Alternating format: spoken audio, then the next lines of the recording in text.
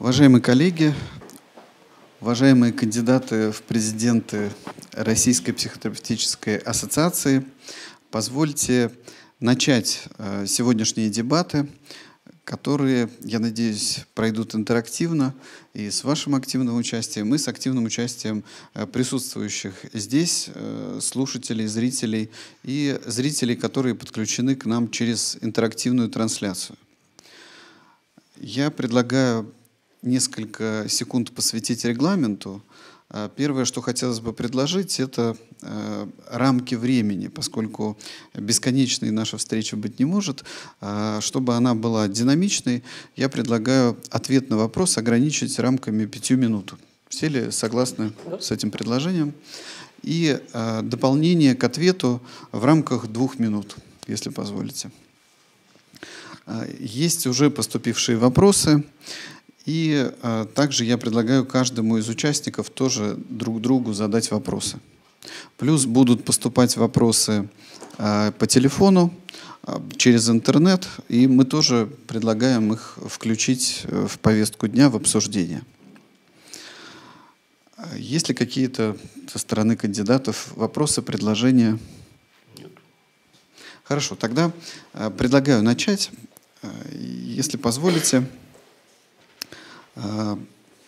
предлагаю начать с вопросов из э, регионов. Э, есть несколько вопросов, которые прислали из дальнего региона, из города Иркутска.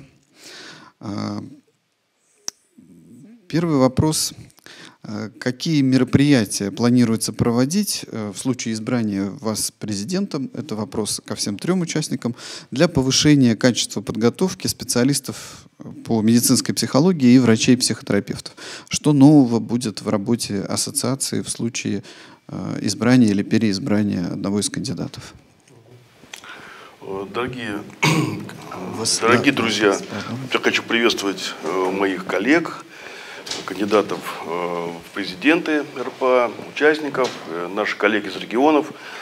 Я считаю, что в случае моего избрания э, значит, подготовка специалистов будет совершенствоваться, потому что, как вы сейчас многие знаете, значит, основная моя сейчас профессиональное место работы, вот не общественное в ассоциации, а такое связанное с работой, это Институт психотерапии и медицинской психологии имени Бориса Дмитриевича Карвасарского, который за последние два с половиной года э, в активной деятельности э, досоздал новую дидактическую концепцию, которая предполагает погружение участников, подготовки специалистов в интерактивную такую дидактическую образовательную среду.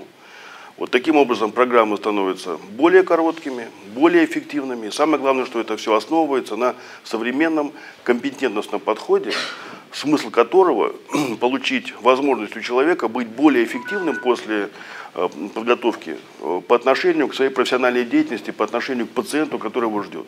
Я считаю, что внедрение вот этих признаков, принципов Э, компетентностного образования, которое предполагает и длительные программы переподготовки, которые сейчас проводит институт, и краткосрочные формы, это даст новый ресурс э, изменения качества обучения. Спасибо большое, Сергей Сергей Михайлович.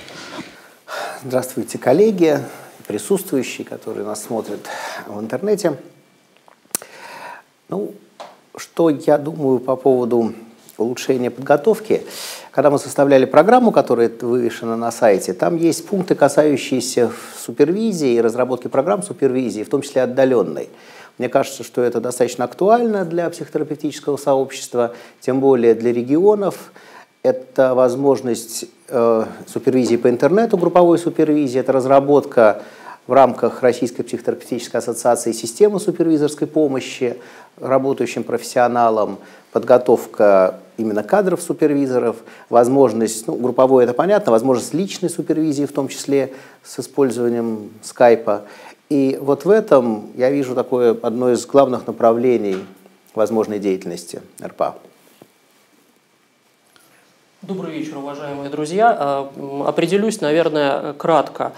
А, мне кажется, что основные моменты в подготовке должны быть уделены совмещению формата удаленного образования и образование на месте. Потому что сейчас достаточно сложно выезжать в регионы, и некоторые регионы ну, являются, по сути, плохо охваченные а, скажем так, обменом э, опытов специалистов, при внесении новых дидактических программ. Поэтому это тоже отражено в моей программе. Мне кажется, что приоритетно это создать онлайн-базу, хорошую онлайн-базу видеоматериалов, и постепенно это будет, э, думаю, что хорошо развиваться. Вот, например, у меня есть такой опыт сотрудничества с проектом Интернистру, очень крупным, о психотерапии. А, итак, создание интернет-базы, которая была бы доступна э, для членов ассоциации, это первый момент. Второй элемент – это модульная система онлайн э, с последующим тестированием, с последующей возможностью интерактивного доступа.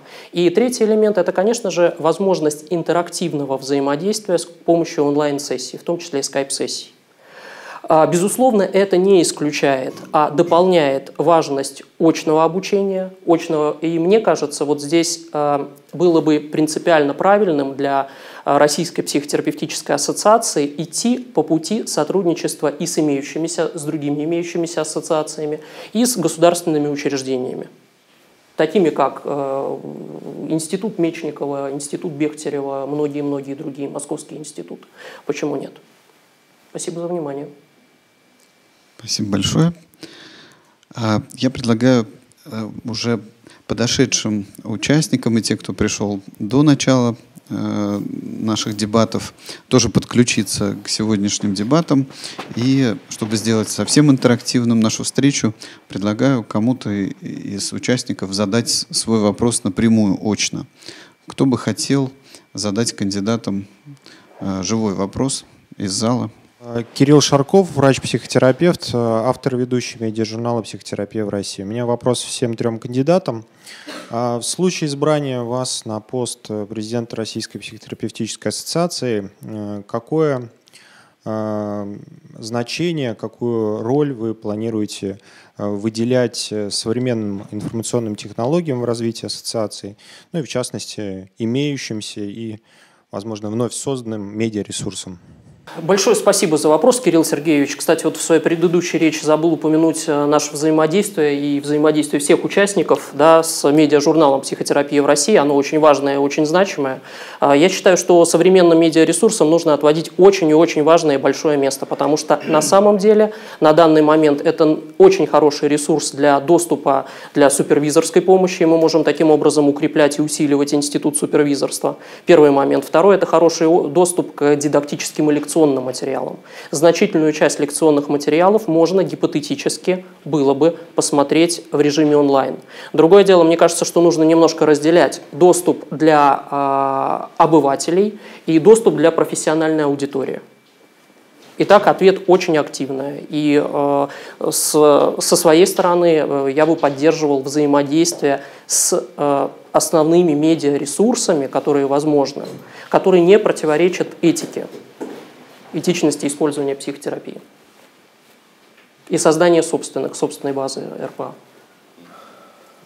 Даже трудно что-то добавить. Ну, естественно, то, что я уже говорил, это супервизия, конечно. Это вообще в связь с регионами, потому что сейчас чисто технически, финансово очень сложно приехать там, в Москву, в Санкт-Петербург. И то, что мы можем предоставить онлайн или предоставить действительно те же в рамках вебинаров, там каких-то записей, разумеется, нужно делать. И сама активность связи как бы центрального условного аппарата РПА и регионов как раз может быть через медиаресурсы. Безусловно, я планирую это развивать, это очень интересно. Другое дело, что в любом случае это какие-то дополнительные факторы, потому что психотерапия все-таки это очное искусство. И здесь любое взаимодействие онлайн или в записи. Но это в любом случае дополнение, но это очень важное дополнение, конечно, которое нужно развивать. И здесь можно брать примеры западной ситуации, где очень много таких ресурсов, и действительно и лекционных, и учебных курсов, и каких-то, так сказать, непосредственных, то, что уже говорилось, возможности проходить так называемое модульное обучение онлайн, как хотя бы часть этого. Ну и, безусловно, это система супервизии, о которой я уже говорил тоже поддерживаю своих коллег в этом подходе. Вот. Но, правда, хотел бы сказать о том, что у нас не должно быть э, такого понятия огульного прямо теперь перемещения в интернет подготовки психотерапевтов.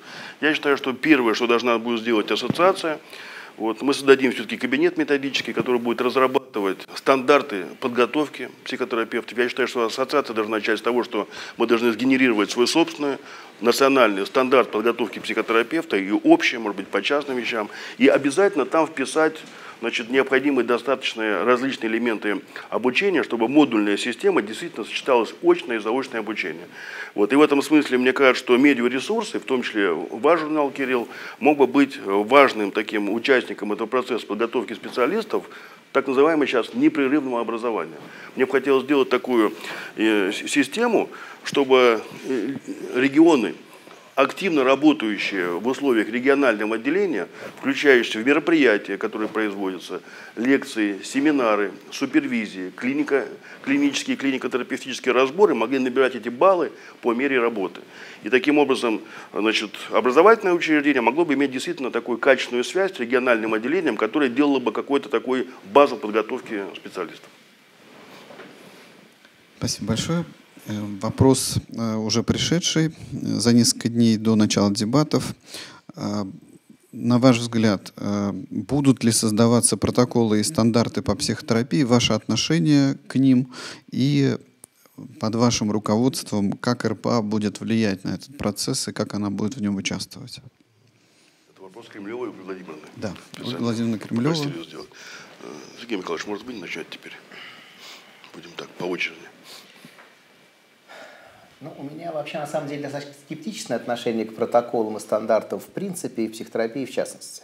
Другое дело, что, к сожалению, во всяком случае, государственное здравоохранение на это переходит, и мы не можем это игнорировать, и мы вынуждены реагировать на это.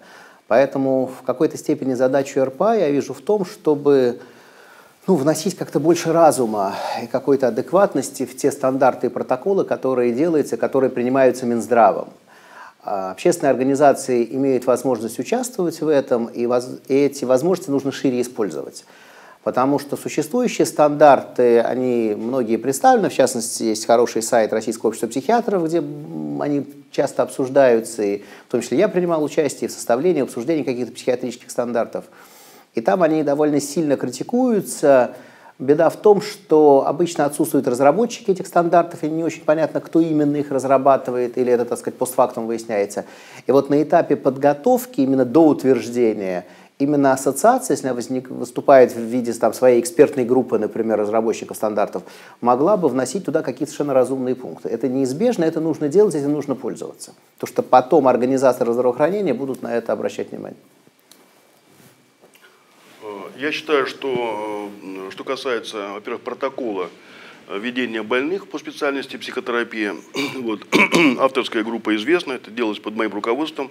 Вот, есть проект этого протокола, вот, которые сегодня в, в соответствии с современным законодательством, они и не утверждаются Минздравом задача э, протокол утверждается профессиональным сообществом. Я считаю, что мы вполне могли бы заняться его доработкой. Это просто очень сложный документ, он примерно так около там, 100 листов примерно насчитывает. Есть его база э, качественная, нам нужно будет согласовать все-таки взгляд на э, современную модель психотерапевта. И доработав, я считаю, что в течение года, например, или полутора, мы могли бы его утвердить и таким образом рекомендовать. То есть протокол входит в жизнь после утверждения профессиональным сообществом. В этом плане Российская психотерапевтическая ассоциация имеет все права, она общероссийское объединение могла бы стандарт утвердить. Следующим шагом, как мне кажется, была бы очень важная вещь. Я бы хотел и планировал, и буду делать это в любом случае, ну а при избрании президентом РПА, естественно, с включением и моих коллег тоже, мы должны сделать национальные значит, национальное руководство по клинической психотерапии, по использованию психотерапии в медицинской практике, потому что сегодня царит всевозможные значит, различные подходы, но, понимаете, медицина требует э, каких-то определенных все-таки ориентиров. И вот и это клиническое руководство было таким важным шагом для э, создания такого базы для подготовки специалистов, психотерапевтов. Ну а что касается стандартов, я считаю, что тут я полностью с Игорем Александровичем согласен, мы должны должны включиться активно в эту работу, требовать э, участия в, э, в этой работе. Тем более, что, насколько я знаю, Минздрав, Институт Сербского, Институт Бехтева, они не отказывают, естественно, в участии. Нам нужно просто создать трудоспособную, работающую группу из нашей ассоциации. Такая позиция. Добавлю, э, мне кажется, что вне зависимости от того, кто будет президентом Российской психотерапевтической ассоциации, эта работа будет вестись. Будет вести. Э, мне кажется, здесь э, навряд ли есть какие-то, навряд ли есть какие-то, какие-то сомнения. Если говорить про мою позицию, то скажу следующее. Мне кажется, что психотерапевтические стандарты нужно разрабатывать в тесной связке с психиатрами. Потому что все-таки сейчас наступает эра полипрофессиональной бригады бригадного подхода. И поэтому разработать какие-то стандарты а, в стиле «Баба Яга против», без учета мнения коллег по цеху, а, было бы, наверное, теоретически возможно, но практически это было привело к усилению конфликта интересов и к отсутствию слаженности работы. Поэтому вот такой а, важный, как мне кажется, важный момент – разработка стандартов да, с учетом доказательной медицины, с учетом мирового опыта, Насколько это возможно? Насколько это возможно? Насколько это возможно? Понятно, что это такие перфекционистические ожидания а, в какой-то мере, но, по крайней мере, в эту сторону а, хочется двигаться. Вот, ну я прошу прощения, маленький комментарий. я, я полностью поддерживаю эту идею бригадного, бригадной модели, но это, это не только психиатр, это в первую очередь клинический психолог, медицинский психолог, специалист по социальной работе. Э, это вот главная тройка, которая занимается психотерапией, естественно, по согласованию с другими специалистами, психиатрами и наркологами тоже. Потому что сегодня, как мне кажется, такая понимаете, инициатива о психотерапевтической работе идет из наркологии. Э, принятые документы нормативные дают ресурс такой вот развития психотерапии через реабилитацию в наркологии. Безусловно, соглашусь. И, наверное, добавлю еще один момент, что а, достаточно важным элементом является, кто руководит полипрофессиональной бригадой. Есть разные модели. В разных условиях когда-то может руководить психиатр, когда-то психиатр-нарколог, в каких-то случаях психотерапевт правильно? И поэтому а, как раз а, разработка стандартов а, в наркологии, в психиатрии и в психотерапии, на мой взгляд, должны идти наиболее слаженно. Понятно, что это несколько идиллично, но все же. И потому что именно из-за этого, мне кажется, психотерапия плохо, не так хорошо приживается и в общесоматической сети, и в рамках психиатрических учреждений, потому что мы зачастую непонятны для коллег. И достаточно часто наша работа не подлежит какой-то четкой, э, ну, не проверке, что ли, а какой-то верификации. Психотерапевт может сказать, вау, я делаю это все здорово, а с точки зрения клинической медицины оказывается, что в течение полугода состояние пациента ухудшается, или у него отсутствует ремиссия. Ну, не могу все-таки удержаться, вот, Александр э, прекрасная тема. Вот я считаю, что проблема того, что сегодня современный психотерапевт не вписывается в, в реально работающее лечебное учреждение, да, вот с теми настройками, которые сегодня есть, с экономическими требованиями, там, с определенными ограничениями. Это проблема системы подготовки. То есть мне кажется, что в настоящий момент э, система подготовки в государственных учреждениях, она, к сожалению, оторвана от интересов Э, медицинской, э, реальной клинической практики врачей, психотерапевтов, медицинских психологов. Мы должны, коллеги, с вами в любом случае переделать эту систему. И с моей точки зрения, это должна быть точка кристаллизации этой работы вне государственного, значит, вне государственных учреждений. Мы должны сделать такую систему, которая по-настоящему помогала психотерапевту, вернувшись, быть успешным и в клинике, и в частной, и в государственной. Я боюсь, что это перерастет в дебаты такие да. более активные, поэтому мы... есть а что ответить и дальше. Мы можем вернуться к этому вопросу. Вернемся. Да, этот вопрос еще можно И все не столь однозначно для меня. А, вопрос профессора Кулакова Сергея Александровича. В случае избрания а, планируете ли вы создать единый реестр рекомендованных РПА методов психотерапии? Э, значит, ну, что касается меня, я считаю, что, ну, даже причем и, и тоже, опять же, даже я с Александром Николаевичем согласен, что будем мы избраны, нет, и все равно мы будем примерно делать э, одни и те же вещи. Я считаю, что должен быть реестр психотерапевтических методов научно обоснованных, да, потому что я сталкиваюсь, например, с такими вещами, когда мы вот выезжаем в некоторые регионы, например, у меня был такой там опыт, значит, вот психотерапия в условиях э, стационарного отделения психотерапевтического, диагностический аудитинг плюс НЛП, как бы, да. С моей точки зрения, это недопустимые вещи, да. Все-таки все-таки РПА должна, э, значит, ну, как бы, так сказать, все-таки давать некоторую базу, ориентиры хотя бы, да, потому что все-таки есть все-таки методы принятые, значит, скажем так, в разумных пределах э, доказанные, обоснованные, значит, есть э, принципы все-таки научного обоснования психотерапии, разработанные профессором Абабковым, значит, и совместно с Майнрадом Пере. И я думаю, что мы должны исходить из этих позиций, все-таки какой-то набор подходов, методов предложить, чтобы молодые коллеги, особенно те, кто начинает подготовку в психотерапии, могли бы ориентироваться на определенные, так сказать, все-таки группы методов с учетом их все-таки показаний и противопоказаний, которые сегодня выстраиваются. Это вот сюда моя позиция. Угу. Э, я в чем-то соглашусь с Равиль Каисовичем, что через 2-3 шага нам желательно иметь э, реестр психотерапевтических методов. Да? Потому что все-таки психотерапевтические методы, которые не имеют под собой ни теории личности, ни модели заболевания, ни доказательной базы, ну, к ним нужно относиться, по крайней мере, осторожно. А другое дело, что нам, мне кажется, важно не выплеснуть еще с водичкой ребенка. А, при вот, при вот таком обсуждении. И в таком, а, при составлении такого реестра мы а, должны понимать, что будет очень большой конфликт интересов. Например, сейчас большая часть доказательной базы приходится на когнитивно-поведенческое направление. Я его люблю и сам очень часто использую, но я далек от того, что когнитивно-поведенческая психотерапия должна вытеснить все остальное. И поэтому, да, реестр важен, нужен, но подходить к этому нужно с очень большой осторожностью и с учетом использования эффективности психотерапии при определенных нозологических формах. Сергей Михайлович. Я чуть-чуть тогда поучаствую. Мне кажется, что это два-три шага, но это какие-то очень длинные шаги. И сейчас это абсолютно, на мой взгляд, неактуальная вещь перед РПА и перед ассоциацией стоят какие-то более насущные вот проблемы прям сегодняшнего дня, составление реестров там, психотерапевтических методов. У нас есть пример, э, мы можем ссылаться же на известные вещи, профессиональной психотерапевтической лиги комитета по модальностям, который, на мой взгляд, просто смешон когда там долгое время у них не было модальности арт-терапии, потому что они там не могли человека найти, который возглавит, то это не значит, что в России не было арт-терапии, да, она же нелепость. Она же была, есть и будет, да, ну и так далее, да, или там какая-нибудь София анализ, который у них есть модальность, да, это вовсе не значит, что этот метод вообще существует, вообще, что это метод. Поэтому это какие-то такие, на мой взгляд, игры в песочнице. А, это сложный вопрос, как, каким образом мы оцениваем метод. Есть экспертная оценка, не знаю, двойное слепое рандомизированное, или это экспертное мнение выбора экспертов, или это там, не знаю, определенные фокус-группы. Поэтому это достаточно сложный вопрос. Другое дело, что, разумеется, РПА может выступать как экспертное сообщество с комментариями тех или иных отдельных методов, которые, может быть, получают ну, как бы излишнее распространение, вот то, что говорил Раиль Каич, да, в отделении неврозов там используются всего два метода, да, мы можем вот об этом говорить. И это скорее более насущно, чем составлять какой-то реестр методов. Спасибо.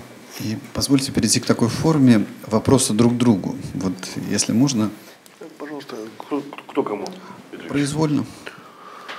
Пожалуйста. Ну, давайте я тогда спрошу. Значит, э, Сергей Михайлович, э, хотел бы задать вам такой вопрос. Значит, мне кажется, что значит, сегодня вот, э, ну, большая проблема психотерапии, как мне кажется, вот, значит, с, связана, еще раз подчеркну, с моей точки зрения, это система подготовки, значит, не очень адекватная, которая существует, в том числе в постдипломных учебных заведениях. Вот.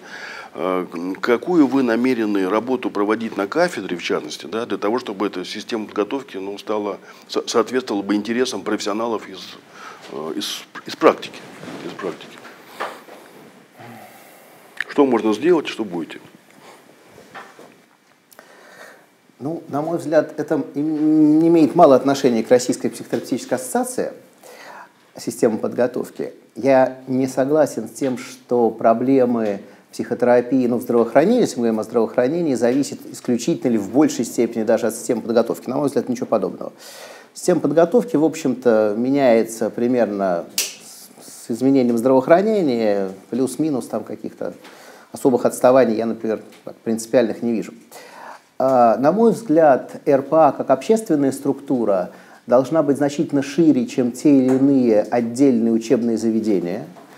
И более того, РПА может рекомендовать различные государственные и негосударственные общественные структуры, а, в том числе, например, кафедры кон конкретно, или не рекомендовать именно с точки зрения общественной организации. Может быть, это будет общественная аккредитация, например, тех или иных образовательных курсов там, и так далее если это будет нужно, если общественная организация будет иметь вес у профессионалов, и их рекомендации будут иметь вес у профессионалов. Что касается подготовки, то в первую очередь это наличие профессиональных кадров, образовательных на кафедре, к чему мы, собственно, с коллегами и стремимся. Это наличие достаточно разнообразного количества этих кадров. Мы не можем, конечно, обхватить там 700 методов психотерапии, но те методики, те главные, во всяком случае, магистральные направления, которые представлены, должны даваться на достаточно высоком профессиональном уровне. Вот, на мой взгляд, это главное. Ну и то, что уже говорилось, это какое-то изменение а, преподавания с учетом современных требований, того же дистанционного компонента, той же личной терапии, супервизии и так далее. Вот в этом смысле кафедра, наверное, отстает, по большому счету, и мы планируем каким-то образом здесь быть более разнообразными. Ну, а в будущем нас ждет переход на систему аккредитации, изменится система циклов, наверное, будут востребованы более краткосрочные циклы с, тем же, с большим объемом дистанционного обучения. Тоже мы постепенно будем менять наше образование вот под эти модели. Спасибо, Алаверды, может быть, теперь ваши вопросы? Сейчас я отойду от вашего вопроса. Александр Николаевич, может, ваш вопрос? Ваш вопрос тогда, Александр Николаевич, если возможно. Равиль Николаевич, э, наверное, к вам больше вопрос. А как вы все-таки в дальнейшем а, планируете а, в случае переизбрания своего на, должен, на пост президента Российской психотерапевтической ассоциации взаимодействие с психиатрическим и наркологическим сообществом? Спасибо. Мне кажется, очень важный вопрос. вот, э, значит, э, вся моя жизнь, да, значит, она, конечно, была посвящена психотерапии. Вот я, с своей стороны, мне всегда казалось, и это подтвердилось практикой. Я считаю, что психотерапия, система психотерапевтической помощи, это даже касается и отдельного учреждения, и значит, э, ассоциации в целом, и вообще сообщества, должны исходить из следующих принципов.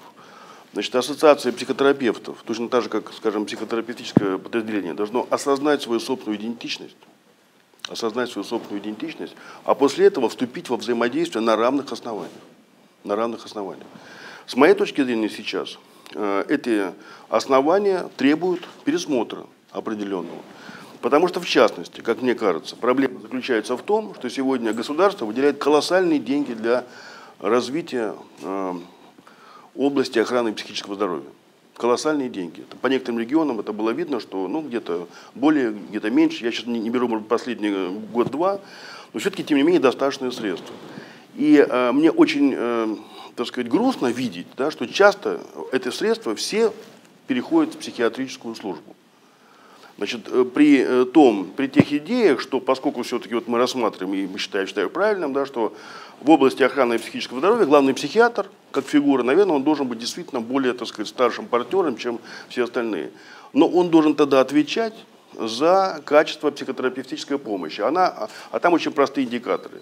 Должна существовать сеть психотерапевтических кабинетов, стационарное психотерапевтическое отделение и э, региональные психотерапевтические центры в каждом регионе.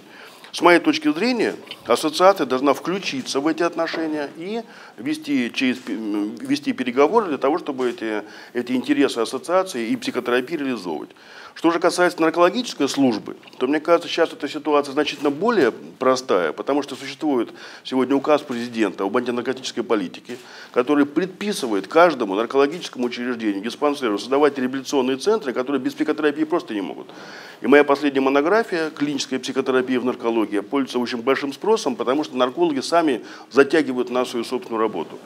В этом плане, мне кажется, что это будет такое качественное сотрудничество. Но что касается политических аспектов, я считаю, что какую-то работу проводили бы вы, какую-то Сергей Михайлович.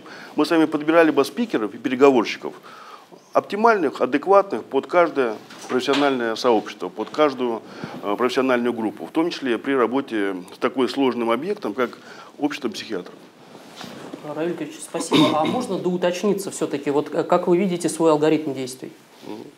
Что касается алгоритма действий, то я считаю, что у нас должен быть э, комитет в ассоциации, вот, под руководством какого-то значит, опытного человека. Мне казалось, что это мог бы быть э, значит, Сергей Михайлович вот, или Александр Германович Кандинский, вот, или другие коллеги, либо кто-то, может быть, другой, который бы э, занимался специальной выработкой политики по отношению к общественным организациям. Значит, я считаю, что мы должны точно выстроить отношения с ППЛ мы должны выстроить отношения с ИКПП, с психоаналитической ассоциацией. Мы должны выработать подходы по взаимодействию с региональными профессиональными сообществами, с обществом психиатров, с наркологическими ассоциациями, их несколько.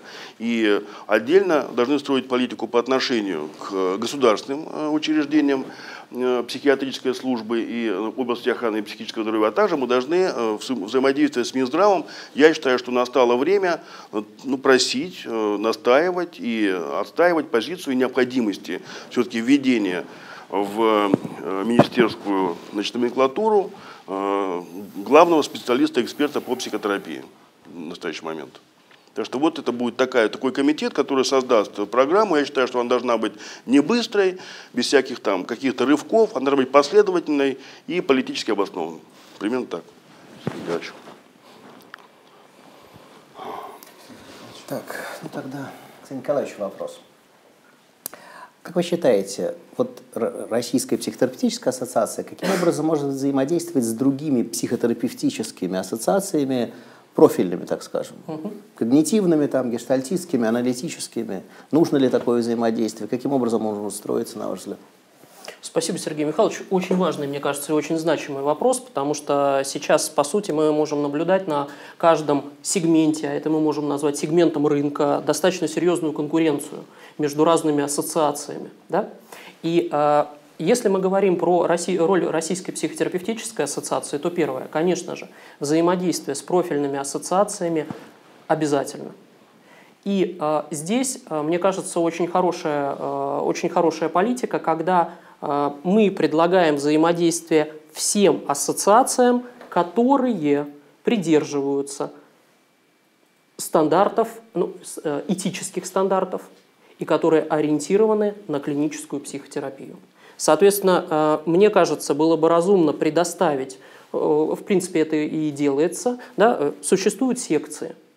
И, например, в рамках одной секции могли бы взаимодействовать совершенно разные ассоциации. И мне кажется, что это было бы очень здорово. Для чего? Для того, чтобы в рамках РПА была такая площадка, где разные ассоциации могли бы договариваться друг с другом. Вот как пример э, конференцию по когнитивно-поведенческой психотерапии, которая проводилась в 2012 году и будет осенью этого года да, в Институте Бехтерева. Площадка, где совершенно разные ассоциации, разные участники могут встретиться друг с другом, проговорить проблемные э, вопросы, выработать общую позицию и двигаться вперед. Если я ответил на ваш вопрос. То есть активное взаимодействие. Могу уточнить. Тут все-таки, вот понимаете, э, Николаевич, ну я угу. согласен, что мы всегда занимали такую широкую рамку, и вот, значит, Борис Ильич все-таки вот такую позицию всегда предлагал, и мы тоже. То есть, естественно, мы у нас нет какого-то, так сказать, там сортировки ассоциаций, угу. мы хотим, чтобы они просто были профессиональные. Все-таки вот где-то грань, да, при которой все-таки это сообщество еще является, там, скажем, внутрироссийской психотерапевтической ассоциацией, а где все-таки это самостоятельная ассоциация. Как вы тут отношения строить, чтобы они друг другу не мешали, и в то же время не было такого, знаете, ну какого-то просто разговора о не настоящей деятельности. Вот как различить деятельность, например, комитета ассоциации или секции, допустим, и, допустим, когнитивной Э, когнитивно-поведенческой ассоциации, ассоциации когнитивно-поведенческой терапии. Как это сделать? Нужно, нужно ли это разделять? Если в структуре Российской психотерапевтической ассоциации есть секция, в которой представлены по возможности лидеры этих направлений, и не, э, то э, уже дальнейшая регуляция идет в рамках секции. Если возникают какие-то конфликты интересов или проблема вырастает выше, то тогда она разбирается координационным советом РПА. Мне кажется, вот примерно такой механизм а, регуляции. А куда платятся взносы при таком подходе? А, дело в том, что при таком подходе, а, как мы уже обсуждали, в принципе, в рамках координационного совета, в Российскую психотерапевтическую ассоциацию может быть членом юридическое лицо, но то, что член, э, юридическое лицо член ассоциации, не подразумевает, что все члены другой ассоциации автоматом становятся членами Российской психотерапевтической ассоциации. То есть часть людей может вступить и в Российскую психотерапевтическую ассоциацию. Спасибо. А, мне просто кажется, что важна бы, э, достаточно важна э, позиция с не такой большой вовлеченностью в политические взаимодействия внутри любого поля, потому что они везде будут. Вопрос сложный. Спасибо. Пару слов просто добавлю. Мне кажется, действительно важный момент.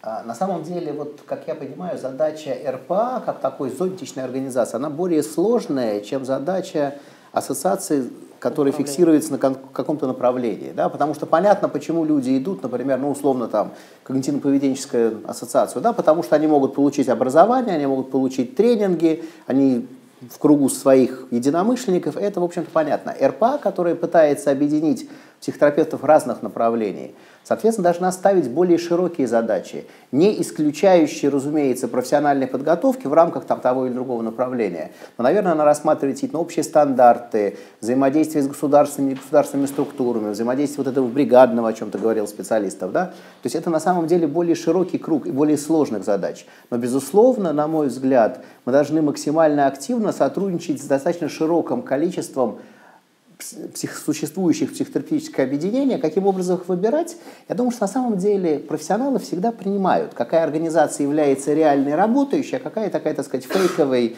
или там попсовой там, и так далее. Здесь, в общем, на 80% мнения обычно совпадают, здесь не будет каких-то проблем. Действительно, если мы вот за политические разногласия уйдем, или скорее личностные, тогда это будет нормально. Ну, да, ладно. Не, мы же можем дискутировать. Да, да, да, мы еще вернемся к вопросам друг к другу. Сейчас, если позволите, вопрос из зала. Ерухимович Юлия Александровна, врач-психотерапевт. А, вопрос ко всем кандидатам. А, первый, значит, я хотела бы знать, как вы оцениваете состояние организации вот РПА на сегодняшний день? И второй вопрос, да, какие конкретные шаги а, каждый из вас будет делать в случае избрания его президентом РПА? Где-то 3-5 шагов, если можно конкретных. Ну, спасибо большое. Вот, я считаю, что значит, в настоящий момент, если говорить о значит, степени, так скажем так, организованности Российской психотерапевтической ассоциации, она переживает непростое время. Непростое время. Вот здесь есть объективные и субъективные причины. С моей точки зрения, э, значит, э, сказать, занимаясь на каком-то этапе формированием методической базы, значит, мы посвящали значит, работу больше в, ту сторону. Да? Значит, в настоящий момент создан набор методических документов, значит, около 30 э, методических рекомендаций, все необходимые достаточные приказы по оказанию психотерапевтической помощи. В порядке оказания психи, психо, психиатрической помощи есть раздел, касающийся психотерапии. В этом году комитет ассоциации предложил в порядок оказания психиатрической помощи внести э, документы, материалы по региональному психотерапевтическому центру. И поэтому вот можно сказать, что какая-то такая база есть, Теперь необходимо, ну, как бы вот, что ли, заниматься ее непосредственной такой реализацией. С моей точки зрения, значит, ассоциация должна усилить региональную политику, вот. Для этого нужно создать специальный комитет, который бы взаимодействовал. У нас сейчас в настоящий момент около больше 50 региональных отделений, реально работающих из них ну, так активно, скажем, не так много. Да? То есть, вот, например, Санкт-Петербург можно отметить, еще ряд других регионов, Кировскую, Кировская, еще ну, около 15 регионов. Мы должны действовать согласованно все, чтобы в каждом регионе появилась вот такая активная группа, которую мы могли бы в этом плане поддерживать. Это второй шаг. Э, третья важная вещь. Мы должны э, регионам предлагать методические принципиальные подходы. Потому что просто устанавливать контакт с регионом, просто передавая какую-то информацию, там, что вот, не знаю, там, ну, какая-то очередная встреча без всякого смысла, она какой-то такой политики в этом плане не имеет. Поэтому должна быть создана ну, такая система подготовки профессиональных стандартов, вот. Вторая очень важная вещь, это должна быть э, работа, связанная с подготовкой дальнейших нормативных документов, которые могли бы э, значит, развивать э, в том числе э, значит, э, такую методическую базу РПА, чтобы каждый человек из региона мог присоединиться, например, через сайт, получить необходимые достаточно какие-то методические рекомендации там, по своей собственной работе. Это вот такая четвертая вещь. Вот. И э, с моей точки зрения, значит, э, должно быть, конечно, значит, э, какая-то более активная такая работа, связанная с вовлечением в члены ассоциации людей. Для этого требуется подготовить специальный набор возможностей, которые мы, кстати, уже делали. Где-то, где-то 4 года назад мы подготовили, не знаю, там 10 причин, почему нужно вступать в РПА. Значит, э, это ну, какой-то, в какой-то степени сдвинуло положение дел. Нужно делать это более активно. И в том числе, мне кажется, нужно включиться и значит, э, э, делать регулярную значит, работу по значит, оптимизации работы российского психотерапевтического журнала, на которого пока просто не хватает сил. Ну, вот если мне кажется, что если журнал бы, вот, например, представил себе, хотя бы выходил, допустим, там э, раз, например, в месяц, ну, это, это невозможно сделать в течение этого года, может быть, даже двух, но мы должны к этому, в принципе, к, к этому стремиться. То тогда, конечно, положение дел бы улучшилось. То есть, заканчивая вопрос, значит, ответ мой такой, я считаю, что у нас есть серьезная значит, недоработка по организации работы именно с региональными значит, э, структурами РПА и вообще регионами, где РПАшных мероприятий пока не проводятся. Спасибо. Значит, на мой взгляд, на данный момент РПА как ассоциация вообще не функционирует – речь идет именно как ассоциация. Отдельные регионы живут, работают, встречаются, там существуют те объединения психотерапевтов. Иногда это делается под эгидой РПА, там регионального отделения конкретного там города или области. Но к ассоциации это не имеет никакого отношения. Ассоциация – это взаимодействие именно между регионами, это какая-то взаимосвязь, которая по тем или иным причинам, можно сейчас на этом не останавливаться особо, вот за последние годы фактически отсутствовала. И конкретные пути – это налаживание вот этого взаимодействия и изучение вопроса вообще, что нужно регионам. На мой взгляд, не совсем правильно считать, что вот там, не знаю, в Санкт-Петербурге или в Москве собрались какие-то гуру психотерапии, которые все знают, так сказать, как жить и работать там в Иркутске, в Архангельске, в Тамбове, там, в Оренбурге. Да? Наверное, нет. Скорее, так сказать, я во всяком случае посвящу какой-то этап – это выяснению тех нужд, которые есть в конкретном регионе, и они разные. Кому-то нужно, там, не знаю, методическая помощь, кому-то супервизия, кому-то циклы учебные, кому-то просто нужно, там, может быть, административно поддержать и так далее. И здесь запросы регионов очень важны. Из каких-то вещей, которые вроде бы понятны, то, что я уже говорил, но это супервизия, это естественно, это какая-то методическая помощь, не в аспектах там, минздравовских приказов, они делаются и будут делаться. Это, кстати, на мой взгляд, не является работой ассоциации как таковой, если кто-то из нас участвует в качестве эксперта там, в подготовке какого-то Минздравовского приказа. А почему это ассоциация? Да? Это вот я лично, там, меня позвали как эксперта. Да? Завтра позовут другого, к ассоциации никакого отношения не имеет. Скорее мы можем пытаться заполнить какие-то лакуны экспертными заключениями РПА или экспертной группой РПА, хотя бы, так сказать, потому что тому же там какому-нибудь региональному Минздраву, да ему плевать на Российскую психотерапевтическую ассоциацию. Но если он видит, там, не знаю, 10 фамилий известных людей, которые подписались под не знаю, там, нормативы, это бесконечный вопрос, там, нормативы приема психотерапевтического, психологического, Минздрав отказывается, давным-давно известно, вводить эти нормативы, да, тогда, возможно, на какой-то там периферийный Минздрав это окажет воздействие. Вот эти вещи могла бы делать ассоциация. В любом случае, я, если все-таки так покороче говорить, буду ориентироваться на нужды конкретных региональных э, объединений, и тоже очень важный момент, на самом деле принципиальный. Ведь на самом деле мы сейчас пытаемся реанимировать Российскую психотерапевтическую ассоциацию, и не очень понятно, что из этого получится. Вообще получится ее реанимировать или нет, и нужна ли она реально регионам, то есть психотерапевтам, там, клиническим психологам, специалистам по соцработе, да, то есть членам РПА. Вот если они действительно увидят нужность и какую-то полезность для себя, тогда, это, тогда нам это удастся сделать. Очерчу свою позицию, она на самом деле будет в чем-то близка. Первое, мне кажется, что, как писал в своем программном обращении, э, ассоциация нуждается в реанимационных мероприятиях. И около года назад, чуть меньше, когда встал вопрос о том, что будет проводиться очередной съезд Российской психотерапевтической ассоциации, пошло усиление движения. И само по себе, даже сам факт надвигающихся выборов, как мне кажется, является пока положительным по крайней мере, является реанимационным пособием. И, естественно, есть большая тревога, что, что будет после выборов. Соответственно, не будет ли это просто такая всплеск, конвульсия и э, закона... реанимация, и, и закономерно... Реанимация может завершиться. Да, реанимация может завершиться... Э... Да.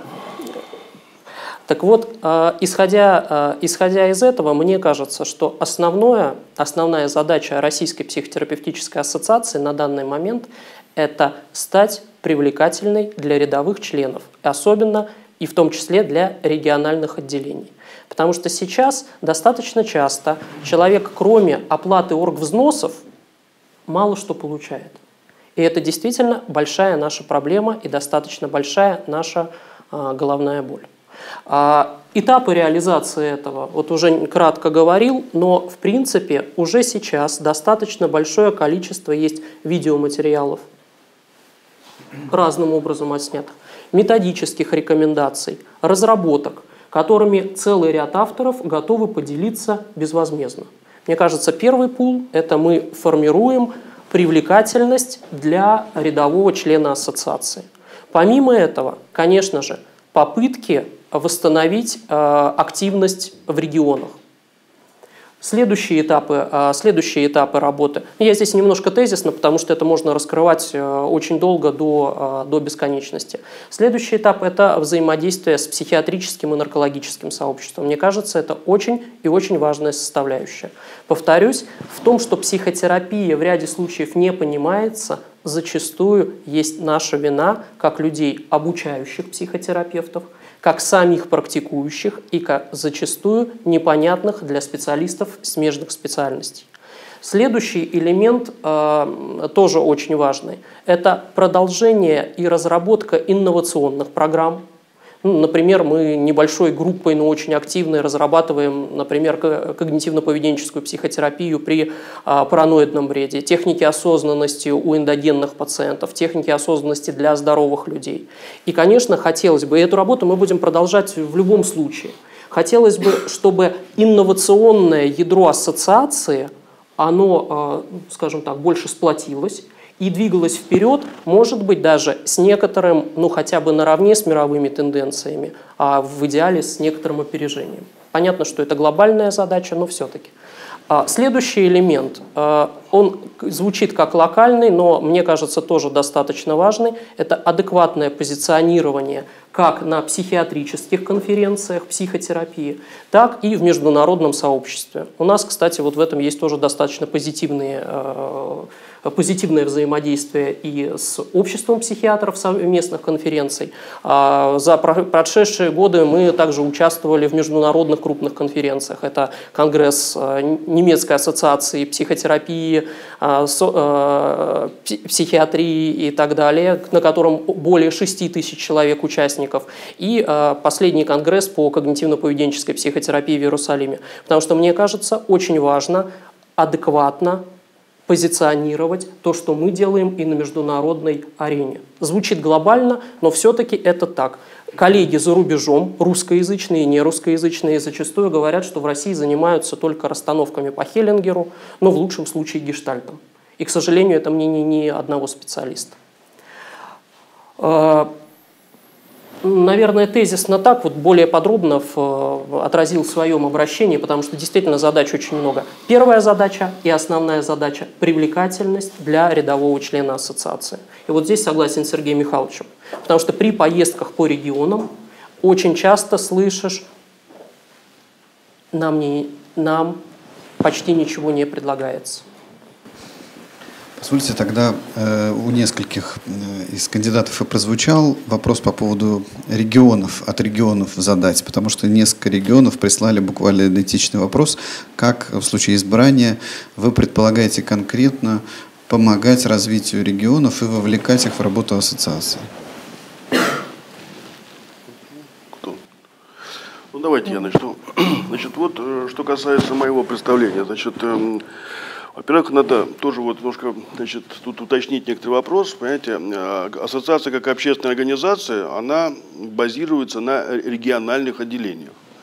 Значит, специфика нашей ассоциации стояла в том, что на каком-то этапе мы создавали их э, для того, чтобы значит, ну, начать эту работу, там основывались на инициативе и авторитете главных э, психотерапевтов, и в частности, значит, в некоторых регионах это действительно получилось сделать. В частности, один из э, таких примеров качественной вот, региональной политики, Сергей Михайлович был в Оренбурге, это была такая можно сказать, образец э, в каком-то смысле значит, вот, региональной работы.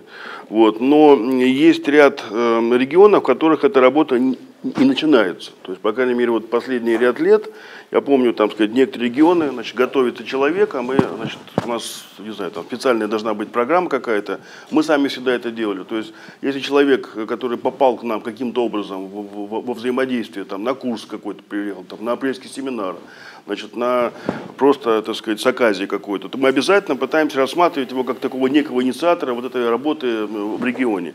И мне кажется, что здесь, конечно, требуется такая активная позиция, потому что, понимаете, э, значит, у вас не должно быть иллюзии, что если мы соберем 10 человек, которых, э, которые там только-только начинают практику и спросим, что они хотят, выйдет, что они ничего не хотят на самом деле. Да? И очень часто все наши, так сказать, посылы в регионы, и другие тоже, значит, попытки сделать, они заканчивались не очень э, эффективно.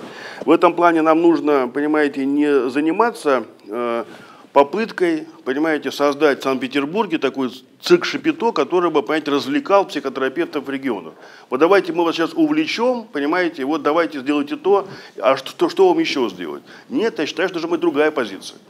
Позиция профессионального сообщества и Российской ассоциации, мне кажется, заключается в том, что мы должны людей, которые живут в своем собственном регионе, занимаются профессиональной практикой, да, помочь им, да, оснастить им их инициативу, при котором они возьмут на себя ответственность за психотерапевтическую службу, понимаете, за отношения с э, действительно там, другими ассоциациями и учреждениями и попытаются отстроить свою собственную практику. Потому что без этого ничего не получится. И в этом плане мы должны инициировать активные фигуры. Вот это э, такая принципиальная вещь. Потому что если вы считаете, что нужно, значит, э, прямо-таки создать какой-то специфический ресурс для региона, откуда, откуда он возьмется?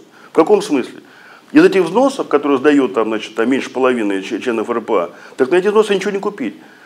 И поэтому э, я, я считаю, что здесь в принципе не должна быть вот такая понимаете, позиция потребительская, которая значит, предполагает, что э, значит, центральный офис там, в лице значит, Еричева, Бабина и Назырова будут что-то делать э, там, специально бесплатно для того, чтобы значит, вот, взять и значит, как-то развеселить людей, работающих в регионе. Нет, мы должны вдохновить, помочь да, и активизировать их работу. И вот только когда то начнет хоть что-то теплиться, да, значит, помогать и взаимодействовать. В этом плане это, конечно, не исключает значит, э, наших разных подходов. Как бы, да? Но я считаю, что основная позиция должна быть, что в этом регионе должен быть адекватно подготовленный специалист, который по-настоящему идентично себя считает, идентифи, который идентифицирует себя психотерапевтической работой. Поэтому, мне кажется, вот это такая э, важная вещь. Я считаю, что мы должны приложить усилия для того, чтобы разыскивать, искать людей, которые хотят в своем собственном регионе создать условия для развития региональной психотерапии. Спасибо, у меня все.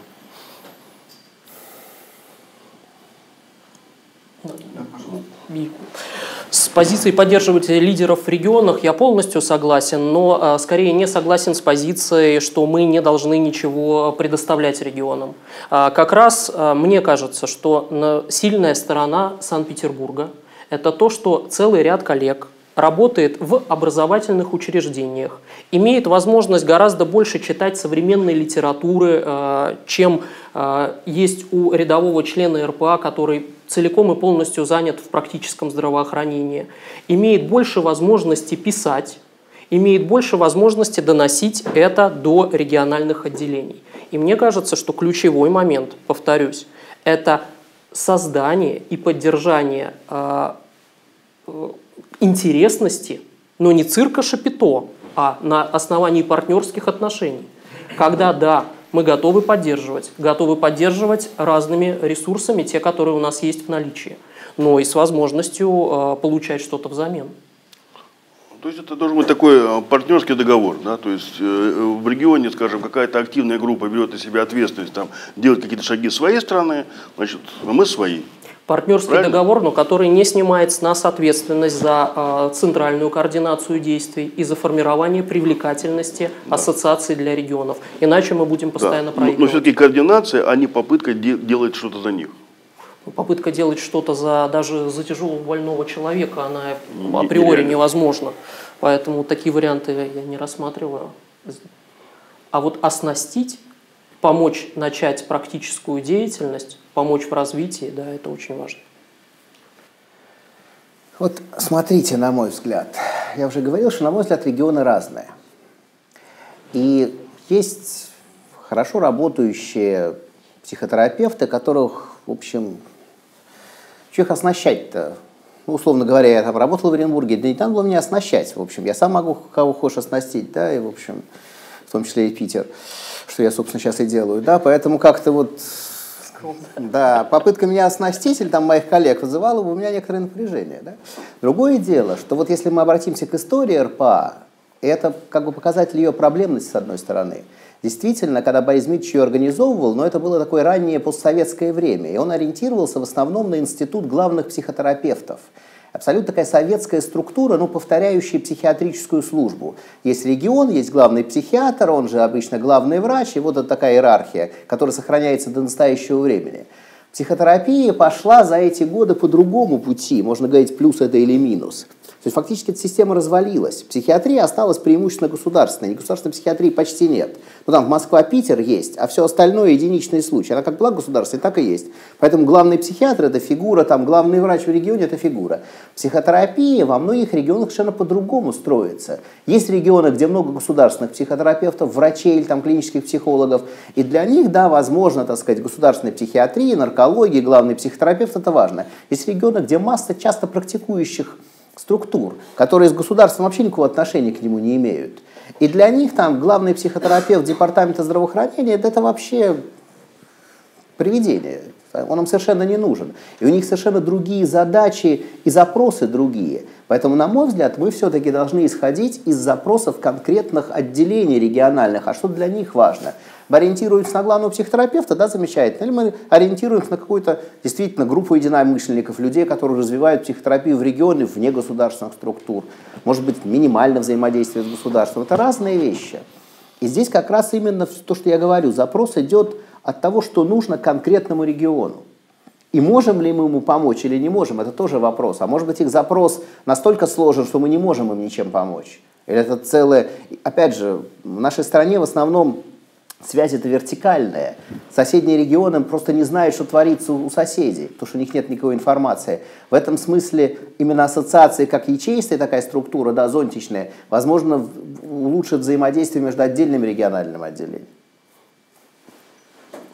Я могу просто сейчас вспомнить вот э, Новосибирское региональное отделение, где она состоит исключительно из э, частных психотерапевтов, да? которые э, инициируют каждый год образовательный цикл. То есть не так, как в государственных учреждениях, да, каждый год образовательный цикл, так на протяжении больше 10 лет.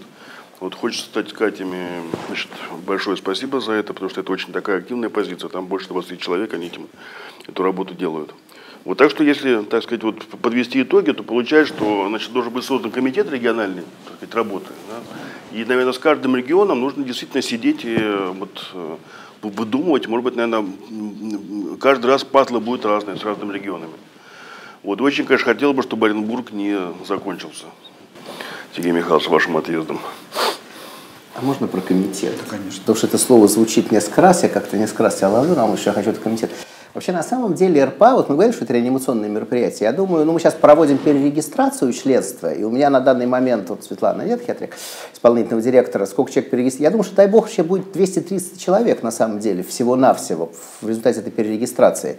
У нас комитет по членству, комитет там по регионам, международный комитет, там экспертный. То есть, можешь посчитать, что мы такая какая-то структура типа Организации Объединенных Наций, такая с большим вот этим зданием в Нью-Йорке, да, и вот там масса всяких разных комитетов, мы так заседаем, там, на самом деле очень узок круг этих людей, да, э, скорее, так сказать, ну, это скорее не комитет, это какие-то направления работы, которые мы должны делать, и именно привлекая людей. Почему там 200 человек? Понятно, что психотерапевтов больше, но 200 человек это которые подтвердили свое членство, эти взносы заплатили, да, которым не жалко заплатить эти взносы, заполнить там эти две анкеты, да, а всем остальным в регионах, я знаю, там значительно больше психотерапевтов, они говорят, а зачем нам это надо? Да, у себя мы ходим, да, у нас есть там общество, мы регулярно встречаем. Зачем мне быть членом РПА? Что я получаю в конкретном регионе, в конкретной там супервизии, в обществе или в группе, да, это понятно. А зачем мне быть членом РПА? Мне совершенно это непонятно. Вот правильно, да, мы должны сделать привлекательной эту ассоциацию, чтобы люди хотели туда вступить, чтобы это было почетно. Но это очень длительный путь, на мой взгляд. Ну и сложно. Конечно. Позвольте вопросы из зала. Сазонов Валерий Яковлевич, врач-психотерапевт, член Координационного совета РПА. У меня к вам немножко личный вопрос. Вот что лично вас подвигло для того, чтобы выставить свою кандидатуру на пост президента? Спасибо.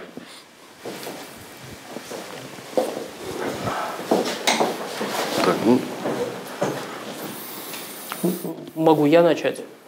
Э, если честно, то меня подвигла тревога. Тревога, связанная с тем, что сейчас происходит.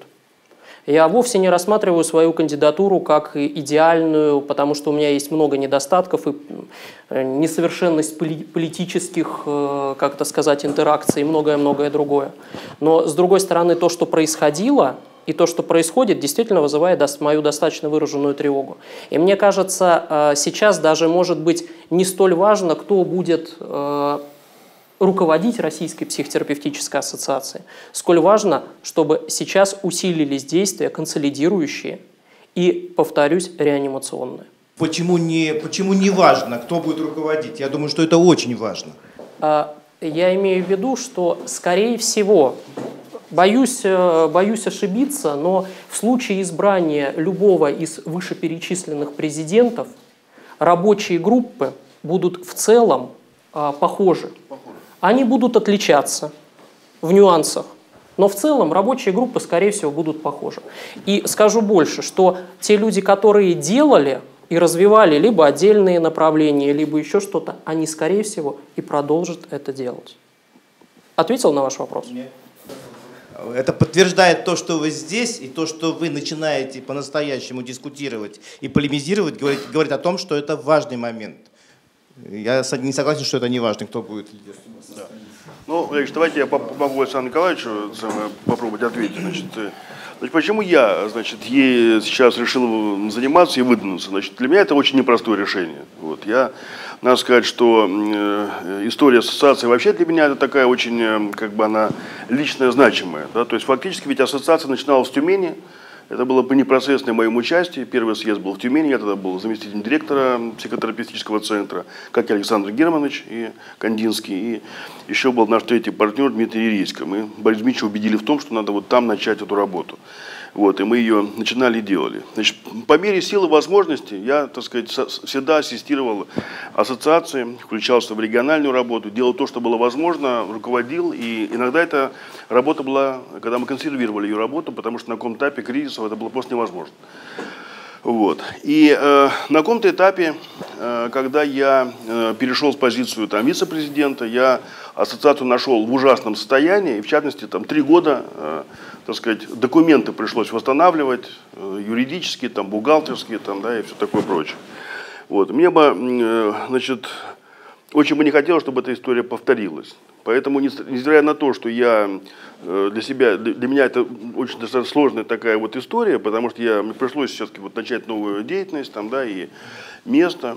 Вот. Мне показалось, что на каком-то этапе, что для ассоциации нужна какая-то настоящая база, должен быть, должно быть учреждение, которое является опорным учреждением именно, именно ассоциации. И мне показалось, что э, пришло время новых каких-то движений, э, потому что мне кажется, что государственные учреждения в настоящий момент, они не в силах э, совместить свои собственные задачи, которые ставит Минздрав, колоссальные может быть, силы и высоких требований. Как бы, да? И они не профильные. И в этом плане мне показалось, что нужно создавать психотерапевтический институт, как научно-методическое такое значит, учреждение, которое будет таким опорником вот для этой ассоциации. И поэтому, с моей точки зрения, личная такая позиция – это попытка значит, ну вот, э, может быть, начать эту какую-то работу с новой позиции, значит, да, с, с новых действий, при, естественно, э, значит, надежде, что эту работу поддержат коллеги, значит, и партнеры, вот, и, значит, э, с моей, в этой ситуации я считаю, что я в какой-то степени за ассоциацию ответственен. Поэтому моя личная позиция, это я считаю, что я хорошо понимаю организацию психотерапевтической помощи, Вот. Я считаю, что ассоциация должна ставить крупные задачи. То есть мы должны ставить э, задачи не какие-то мелкие, там, рассылать э, значит, бумажки, да, значит, которые прямо как будто бы они там нужны. Мы должны поставить задачу какую-то очень важную. Мы должны взять в свои руки организацию психотерапевтической помощи, раз. Второе. Мы должны создать лучшую систему обучения в стране, да, потому что по-другому просто это невозможно. Да. И мы должны значит, действительно усилить региональную политику. И мне кажется, что вот э, эти вещи, как бы, они меня являются, для, для меня являются важными. Я считаю, что ассоциация – это важнейший инструмент, нам осталось продержаться немного. Вот. А именно сколько? Как только начнется аккредитация, аккредитация, она сменит сертификацию, это будет специфический процесс такой очень важный.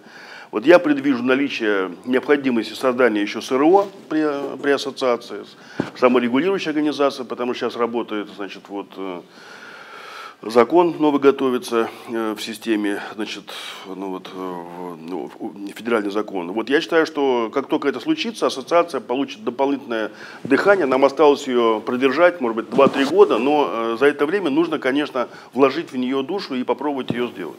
Вот такова моя личная позиция. Понял, спасибо. Сергей Михайлович. Да, на самом деле очень хороший вопрос. Действительно, наши действия, наверное, определяются какими-то личностными причинами, скорее, да, не общественными. Разговор о, ну, условный, условно уже употреблялась, реанимация РПА возник где-то больше года назад. И тогда, когда я включился в эту работу, у меня были одни мотивы, они сейчас изменились, и много изменилось за этот год у меня в жизни – и сейчас, скорее, так сказать, ну, так, той командой, с которой я пришел, с которой я собираюсь реанимировать Российскую психотерапевтическую ассоциацию, я как-то не могу ее бросить, и мы уже находимся в взаимных обязательствах. И если Александр Николаевича тревога побуждает, да, то у меня скорее грусть. Грусть за психотерапию в целом и за РПА в частности. Э, что касается личностного фактора – то, к сожалению, сейчас я, наверное, с вами могу согласиться, что в зависимости от того, кого из нас выберут, может быть по-разному. Там комитеты могут быть те же самыми, но сама ассоциация будет работать несколько по-другому, по-разному, существенно по-разному. И на самом деле ничего хорошего в этом нет. Потому что, на мой взгляд, если это нормально функционирующая общественная организация, то она не должна зависеть от человека, который находится в ее главе. Нормально функци... Это относится ко всем российским структурам общественным, не только общественным. И это вот наша беда, что наши ассоциации, они такие личностно-центрированные, лидерски центрированные. Это приводит к тому, что не знаю, со сменой лидера или ассоциация вообще разваливается, или они там разделяются, или она умирает, что происходит черти что. На самом деле э, президент, в частности РПА, должен, разумеется, быть сменяемым, в, этом, в нашем уставе, в котором мы сейчас живем, этой, этого положения нет. В тех поправках, которые я готовлю с коллегами, мы собираемся внести пункт о, сме, о сменяемости президента и определенных лимитах его там, нахождения в должности. Да? И вообще региональных, всех, региональных структур, то есть всех выборных должностей. И, на мой взгляд, это важно. И так, тогда смена лидеров не будет при, приводить к тому, что ассоциация там то она замирает, то она расцветает, то она поворачивает в какие-то другие стороны. Что это будет такой вот именно целенаправленное движение группы профессионалов, которые разделяют общие какие-то тенденции. Сейчас этого нет, к сожалению. Да, но этого нет именно потому, что она еще до конца, так я понимаю, не выстроена. Да. Сейчас очень важно, чтобы ее выстроить, и тогда то, что вы сейчас говорите, скорее, скорее всего, в жизнь притворится. Да. Спасибо. Да, вопрос от члена КПП из Перми, из регионов. Э, ваше личное мнение интересует. Э, будущее психотерапии в России – это как сейчас отрасль медицины, или это все-таки э, приведет психологию в эту же отрасль? То есть психологи тоже будут иметь право называться психотерапевтами? Я могу ответить на этот вопрос. Мне кажется, что де-факто психологи сейчас очень активно называются психотерапевтами. Можно открыть, на, э, набрать в интернете, в интернет-поисковике запрос «психотерапевт», и большая часть специалистов, которые будут обозначены как психотерапевт, являются психологи. А, будущее, а, мне кажется, а, психотерапия, скорее всего, останется и частью медицины, но и мне кажется, что хорошо, если профессиональное сообщество, Российская психотерапевтическая ассоциация, будет заниматься не только лечением больных, но и то, что называется первичная и вторичная профилактика психических расстройств. То есть это улучшение качества жизни и улучшение незаболевания людей. Вот это тот пласт, который у нас сейчас, к сожалению, слабо охвачен а, э, и гораздо лучше охвачен э, коллегами, э, коллегами-психологами. И мое личное отношение. Я приветствую психокоррекционную работу психологов. Почему нет? Это здорово, и это очень хорошо, потому что есть достаточное количество хорошо подготовленных психологов, которые хорошо умеют работать. Но другое дело, что нам очень важно понимать, хотя есть и другие, да? понимать взаимодействие, как оно будет происходить. То есть бригадная форма помощи. Если психолог работает самостоятельно, то с кем и как он работает самостоятельно. Потому что за последние годы мы видим совершенно четкие, однозначные попытки психологического сообщества в глобальном смысле а занять блок психотерапии ну, по крайней мере, закон о психологической помощи активно, э, который не принят, да, но который прорабатывался, очень активно этому способствует. Итак, хорошее взаимодействие с психологами и привлечение их в ряды членов э, Российской психотерапевтической ассоциации важно и нужно, э, но, скажем так, тех людей, которые ориентированы на хорошие стандарты, имеют должную подготовку. Не 100 часов где-то как-то. Я считаю, что э, значит, в нашей стране, как и в других странах мира, будет существовать две модели психотерапии, как это есть сейчас. Существует э, психотерапия, ну как бы скажем так, большая, это такая большая гуманитарная область, где вопросами психотерапии, применения методов может заниматься медицинский психолог, социальный специалист, философ, там, да, какой-то консультант. Между прочим, коучинг это тоже, так сказать, там, на две трети это просто психотерапия, не клиническая. И она, конечно, будет развиваться, будут э, значит, там развиваться все, все эти направления. Вот. А, а вторая психотерапия – это психотерапия медицинской модели, которая предназначена для лечения расстройств. Для лечения расстройств. Они будут разные. А, одна из моих задач, я считаю, что, может быть, сейчас ее пока, может быть, сейчас ставить э, не, не очень вовремя, но мне бы хотелось, чтобы появилась наука медицинская, э, чтобы появилась наука психотерапевтическая, такая же, как медицинская психология, с двумя вот краями. Значит, медицинские науки и э, психологические науки, например. Вот. В этой ситуации мне бы хотелось, чтобы вот на этом этапе сейчас все-таки психотерапевтом назывался только врач.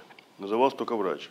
Потому что сегодня возможности у медицинского психолога, настоящего хорошо подготовленного специалиста, это люди, как раз, которые заточены вот под э, работу, в частности, психотерапии. Более чем достаточно. Потому что когда мы говорим даже про медицинскую модель помощи, то там предполагается, что это бригадная форма оказания. То есть в основном нашем приказе 438 о психотерапии, там три специалиста представлены. Врач-психотерапевт, медицинский психолог и социальный специалист. То есть они все три занимаются э, психотерапией. В частности, мы прорабатывали этот вопрос, и я значит, участвовал активно в, этом, в этой позиции. Собственно, это наша вот такая позиция была. Э, психолог в медицине, в медицинской системе занимается участием в психотерапии. То есть не коррекция, там, не какая-нибудь там психологическая поддержка, а именно участие в психотерапии. То есть он проводит психотерапевтическую интервенцию, но только, естественно, в контакте, взаимодействии с врачом, потому что диагноз клинически ставит, ставит э, врач. Почему я сегодня вот на этом этапе развития и, и сообщества, и, может быть, э, психологической грамотности против того, чтобы психологи называли себя психотерапевтами? Что, поймите, пожалуйста, люди, которые обращаются к психотерапевту, они часто обращаются за лечением за лечением. И вот пока мы не добьемся того, чтобы э, гуманитарный профессионал, гуманический профессионал, психолог, там, другой специалист, включаясь в психотерапевтическую работу, заполнял контракт, где будет написано «это не лечение, а помощь», до этого этапа мы не должны людям морочить голову. Потому что часто мы сталкиваемся с ситуацией, когда вот такой э, одиночный специалист вот считает, что он психотерапевт, а пациент считает, что его лечат. Понимаете? Вот в чем проблема. Но, к слову сказать, медицинские психологи и клинические психологи э, этого практически этим не грешат. Это в основном психолог, который вот выучил какой-то метод и считает, что он теперь психотерапевт, скажем, там, когнитивист, например. Э, прошу прощения. Или гистальтист, или там психоаналитик, или там, значит, э, арт-терапевт. Ну, тогда я тоже откомментирую. Я вообще хотел воздержаться после Александра Николаевича, потому что мне было добавить, но с Равиль мне хочется поспорить. Значит, на мой взгляд, ну, нельзя отрицать очевидное. Психотерапией занимаются различные специалисты на данный момент в России. Врачи, психологи, философы, специалисты по соцработе, волонтеры, люди без образования и прочее, прочее. То есть надо различать специальность. Специальность – это юридический термин. Врач-психотерапевт – специальность психиатрии. И область деятельности. Область деятельности психиатрии, там работают разные специалисты. И в РПА, кстати говоря, по уставу включают разных специалистов, врачей, психологов, специалистов по соцработе и по уставу и других специалистов, и других прошедших обучение. Если он прошел обучение по психотерапии, он может быть членом РПА, равноправным членом наряду с врачами. Я не вижу здесь особых проблем. И, соответственно, психолог, конечно, занимается, участвует он в психотерапии, да, он занимается психотерапией, да, что он участвует. Опять же, если мы говорим о бригаде, это государственная структура, психиатрические, там, наркологические больницы. В частном кабинете, когда я один на один с клиентом, какая там бригада? Вот я провожу психотерапию. Если я нормально подготовлен, я прошел определенные часы, и РПА, кстати говоря, может в том числе рекламировать и следить за тем, чтобы там члены, которые вступают в РПА, проходили соответствующее количество часов – это вот отдельный вопрос, да, вот мы собираемся приступить там, к ступенчатому членству и так далее. Ну, я не могу не откомментировать, ну, конечно, психотерапия – это не наука, вот медицинская психология – это наука, а с методологической точки зрения, на мой взгляд, психотерапия наукой не является и не может быть. Но это не относится к РПА, это так, научный спор. Э, буквально одно слово добавлю, если позволите. Э, вот это как раз э, связано с предыдущими, с предыдущими нашими обсуждениями. Очень хорошо, если будет ступенчатое членство, и когда человек продвигается по этому пути, и присутствие его на сайте будет являться определенным гарантом качества. Да. Я тоже буквально пару слов по поводу Сергея Михайловича. До тех пор, пока психотерапия не будет наука, я считаю, что у нее оснований более чем достаточно, потому что мы делали экспертизу специально научную в этом плане. Там есть основания, поверьте, стать наукой больше, чем у физиотерапии. Вот поверьте так. Вот. И до тех пор, пока мы будем считать, что это просто отдельные методы, как Сергей Михайлович говорит, она не будет развиваться. Потому что врач-психотерапевт в Российской Федерации – это Э, человек, который претендует на возможность быть лечащим врачом конкретного пациента, вести его э, как э, человек, который оказывает принципиальную помощь. В психотерапии есть свои достаточные классификационные характеристики, значит, сходные с медицинской психологией, но абсолютно различные одновременно с этим, сходные с психиатрией и различные. Вот. И в этом плане медицинская психология не идентична психотерапии, потому что лечение не может основываться без, проводиться без, без диагноза. В этом плане психотерапевт, в отличие от врача, э, значит, а, а, от медицинского психолога, они проводят разную интервенцию по сути. Значит, каждый из них может проводить психотерапевтическую интервенцию только с разными смыслами. Врач-психотерапевт – это по отношению к клиническому диагнозу и болезни, психолог может только заниматься, ну, так сказать, либо в бригаде вместе с врачом, либо все-таки у него другие задачи, э, которые касаются э, каких-то вопросов улучшения психологических функций. Это принципиально разные модели. Мы эту тему уже прорабатывали. Я думаю, что, возможно, стоит к ней вернуться, потому что она действительно вызывает вопрос у коллег. Позвольте сводный вопрос. Э, несколько регионов его задало и э, во входящих... Несколько регионов? А может быть, да. скажете, какие регионы, чтобы так, а... вы можете услышать себя? И Иркутск, э, и Самара, и из Москвы, то есть сразу несколько человек и в смс-ках, и в электронных сообщениях, вот мне сейчас приходится их зачитывать, а, спрашивают о вашем отношении к тому, что не был принят закон о психологической помощи, а, в связи с чем это произошло и как вы к этому относитесь, и одновременно а, к дебатам по поводу расширения функции клинического психолога, возможно ли ему вот, юридически измениться в статусе и стать психотерапевтом, и ваше отношение к этому. Прекрасно. Давайте я. Значит, отношение к закону о психологической помощи у меня сложное. Значит, я считаю, что закон нужен, что эта деятельность должна регулироваться законодательно, как и психотерапия. Закон о психологической помощи, в свое время закон о психотерапевтической помощи, на мой взгляд, должен быть. И та идея, что нужно дополнять там закон о психиатрической помощи и включать туда психотерапевтические как бы, статьи, на мой взгляд, ошибочно. Другое дело, что тот закон, который не был принят, в общем, и слава богу, что он не был принят, потому что ничего хорошего в нем не было, он был очень сырой, он был непроработан, он был внутренне противоречивый, он включал, так сказать, массу таких спорных последствий, довольно тяжелых для психологического сообщества и для психотерапевтического. И обсуждение показало, что большая часть рядовых психологов с удовольствием, в общем, утопила этот закон и только радовалась. И крайне негативно и с большими опасениями ну, это известная вещь, что для нашего государства лучше действовать вне законодательного поля и ждать каких-то законов в будущем, чем вот когда эта деятельность регулируется. Поэтому такое сложное отношение, на мой взгляд. Что касается второй части, вот по поводу возможности там, психолог, клинический психолог остается клиническим психологом. Он не может стать юридически врачом-психотерапевтом. Но, на мой взгляд, он занимается психотерапией. И здесь не надо говорить никакими эфемизмами, что он психокоррекцией занимается, участвует. Он занимается психотерапией. В свое время была, по-моему, Борис Бич, у него была масса разных идей. Был какой-то период, когда он говорил о врачебной и неврачебной психотерапии, что, на мой взгляд, позволяло вообще снять все противоречия. Но, на мой взгляд, психолог занимается подготовленный психолог, не вот закончивший 5 лет там психфака, да, или там, и, как говорил, 100-часовые курсы там, неважно чего, НЛП. Инженерный психолог. Да, да, или чего-то там еще, или там дополнительного трехлетнего образования, да, типа бакалавриата. А прошедший нормальную подготовку, адекватную по психотерапии, психотерапией занимается. Но он остается при этом клиническим психологом, я не знаю, там, специалист в специальной работе, остается социальным специалистом, почему и нет. Вот скорее так. Спасибо. Вот, э, что касается закона о психологической помощи, Сергей Михайлович э, забыл. Мы вместе значит, участвовали в этой группе рабочей и были против этого закона. Я считаю, что не без нашего участия вот тот закон, который федеральный предполагался, он, значит, и, собственно, перестал дальше развиваться. Но это включилось сообщество, не только мы, естественно, там, Институт Сербского, Институт Бехтерева, там, другие коллеги. Мы не входили в рабочую группу а. психологической помощи, мы входили в психотерапевтическую. Психотерапевтическая помощь, совершенно верно. Но а... проблема была в том, что в этом законе, э, значит, в чем там был весь, вся казуистика. Значит, я считаю, что закон-то был нужен, как бы, да, но, э, как потом выяснилось, он, он самим психологам был не очень нужен. Самим психологам нужна была только одна позиция, что они могут заниматься не медицинской психотерапией. И потом там еще идут два или три пункта, которые какие-то вопросы связаны там поддержкой здоровья, улучшение здоровья. То есть там масса было намрочено таких всяких вещей. И, собственно, мы протестовали, естественно, там я лично не против закона о психологии, а в том, что туда неожиданно, не глядя, включалась какая-то непонятная, непростроенная вот эта не, значит, медицинская психотерапия без, так сказать, э, должных таких оснований.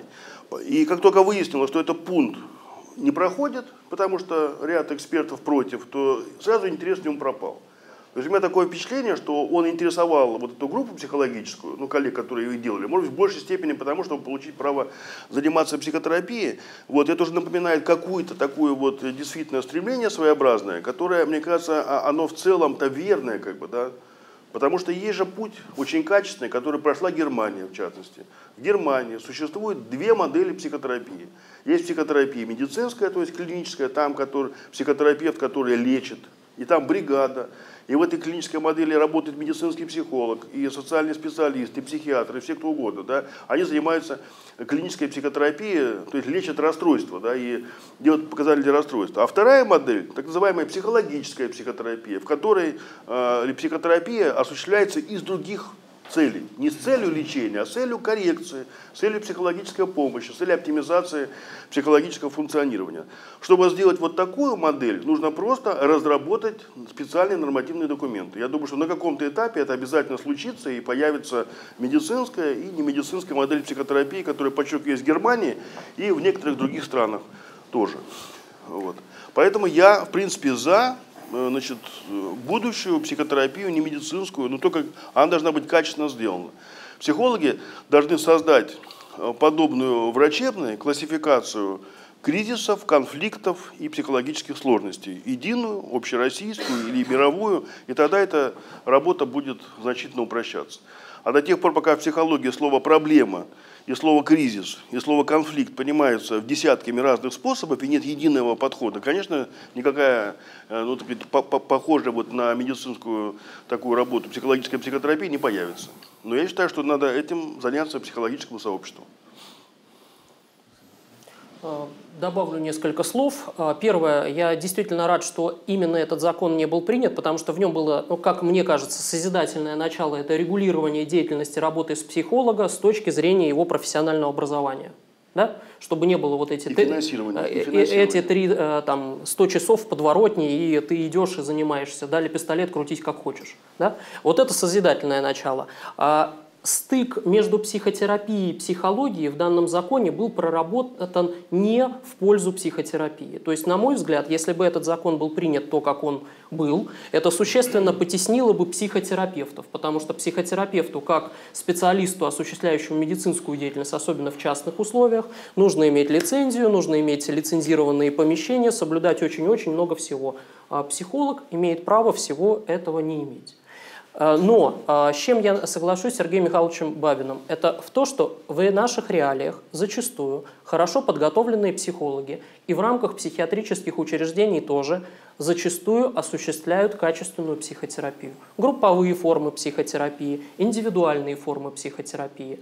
Но важно, э, ну, назовем это смычка, да, психолог, психотерапевт и психиатр – какие, а, какие области работы делегируются и могут быть делегированы разным специалистам.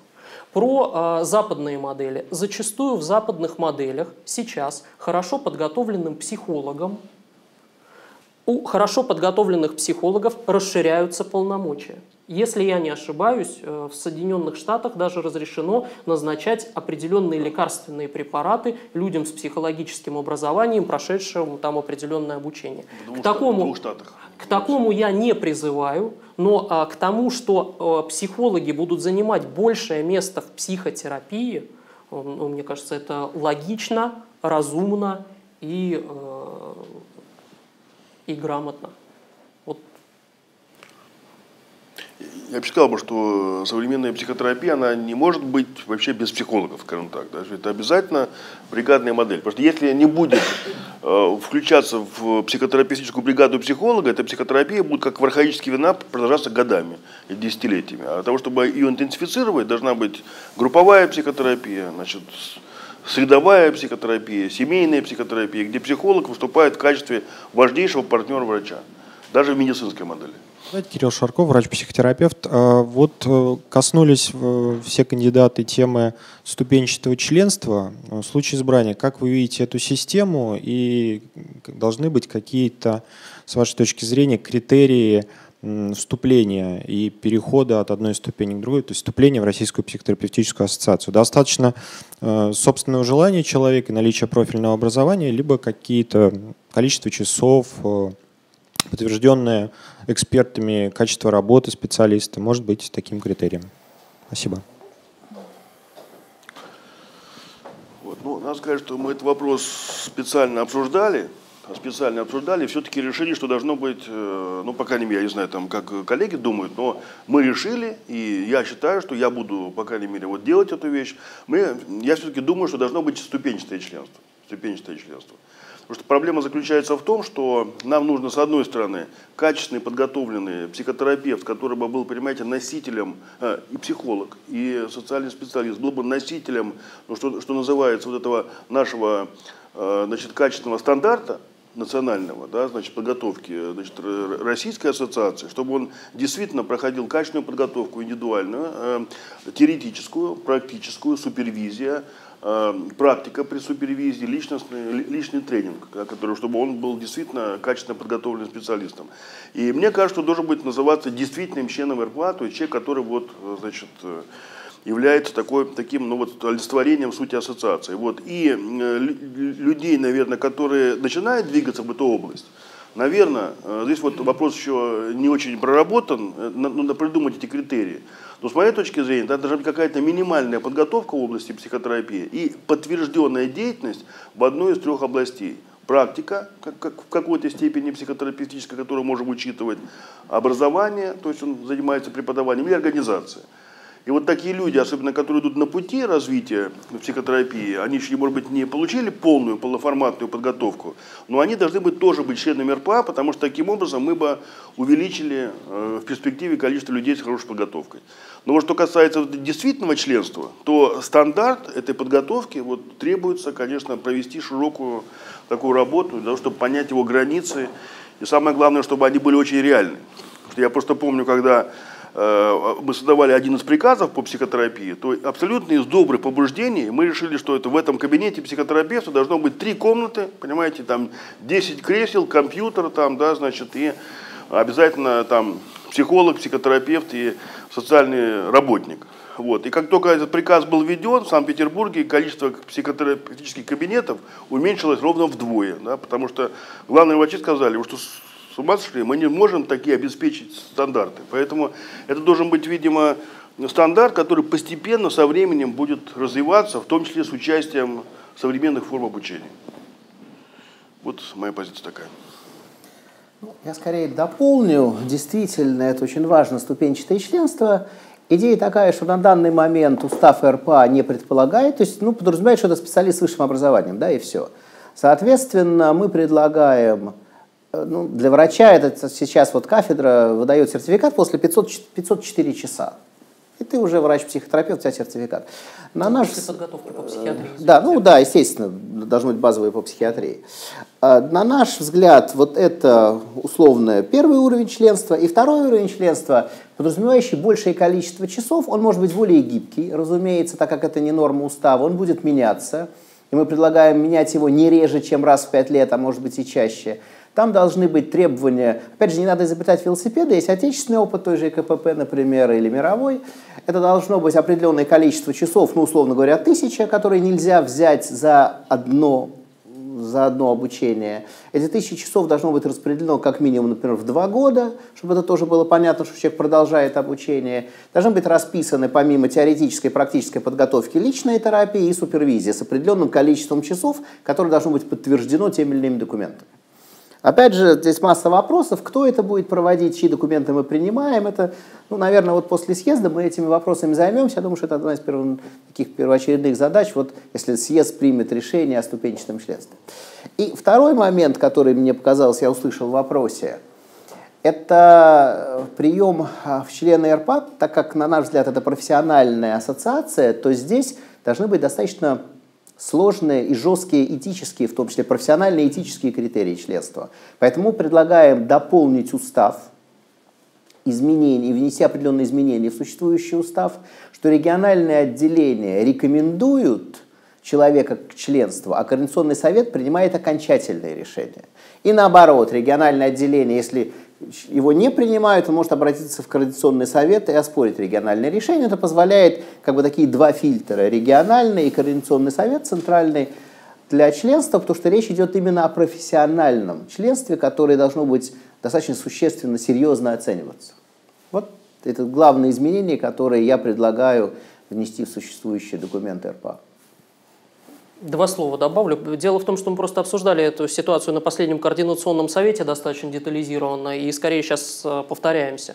А, то, что ступенчатое членство должно быть, да, это хорошо, и хорошо, если а, по продвижению выше к пирамиде это все больше и больше свидетельствовало о гарантии качества, э, по крайней мере, образовательного уровня специалиста.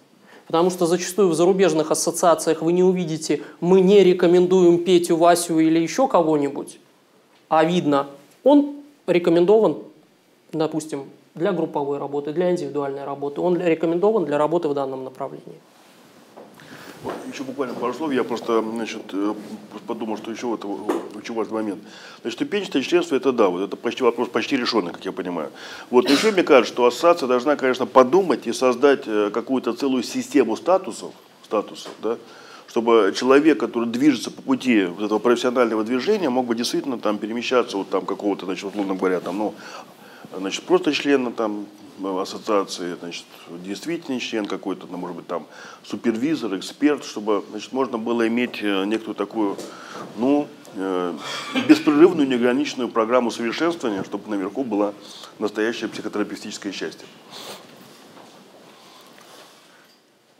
Ну, чтобы при этом эта программа его не отпугивала, а мотивировала чтобы до дальнейшего роста. Чтобы мог ступенчато двигаться, чтобы была целая, целая стена с различными сертификатами, которые подтверждают статус и возможность включения в образование, мне кажется, очень важно. Угу. Да, кстати, очень важный момент. Хотел бы, чтобы э, из практики появлялись бы специалисты по образованию. То есть не просто кафедралы, да, которые часто не очень хорошо, так сказать, работают в практике, не очень понимают эту работу, а вот чтобы там действительно из практики тоже шли а активные люди могли преподавать, проводить тренинги для коллег. Можно регионы подключиться? Из Омска вопрос. Я сейчас передам микрофон. Здравствуйте, Омск. Из Омска от Юлии Купрейкиной.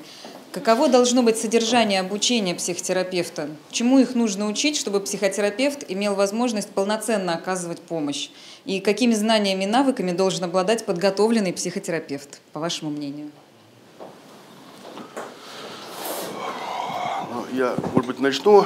Вот, мне кажется, вопрос очень сложный, сложный, до конца не решен. Я, конечно, считаю, что тут требуется работа большая достаточно. Что мне кажется, что он должен э, обязательно, как он должен готовиться? Значит, мы уже тоже об этом говорили. Там должна быть обязательно какое-то количество теоретической подготовки, какое-то количество подготовки практической. Э, супервизия, личная терапия. Мне кажется, что еще э, этап практики под, под супервизией, то есть чтобы было две супервизии, учебная и такая вот практическая. Это как бы с формальной точки зрения.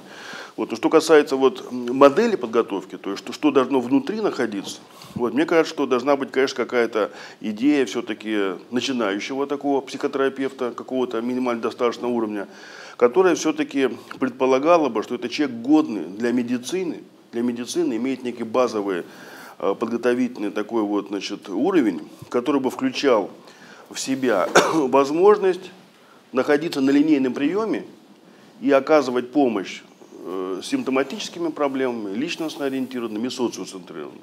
С моей точки зрения, э, туда входит в этот набор где-то порядка 30 компетенций, 30 компетенций, к которым относятся психотерапевтический контакт, в частности – психотерапевтический контракт, проведение индивидуальной психотерапии, там, не знаю, разработка или там формирование психотерапевтической гипотезы и так далее. То есть какие-то такие базовые вещи, которые помогут психотерапевту, ну, что начинает, называется, начать э, старт, как бы, да, может быть, имея э, подготовку, значит, скромную, но вот все-таки таких в ряде таких, э, значит, областей.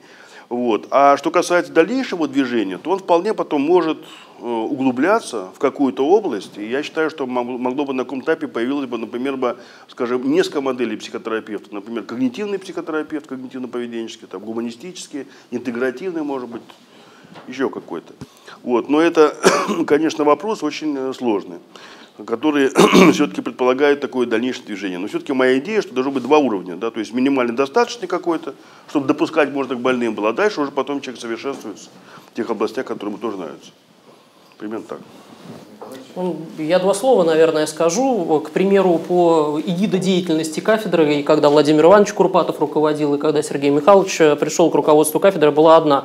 А, это то, что психотерапевт за время, по крайней мере, цикла переподготовки должен получить те навыки, минимальный прожиточный минимум, чтобы он мог выйти, как, скажем так, в поле и начать работу.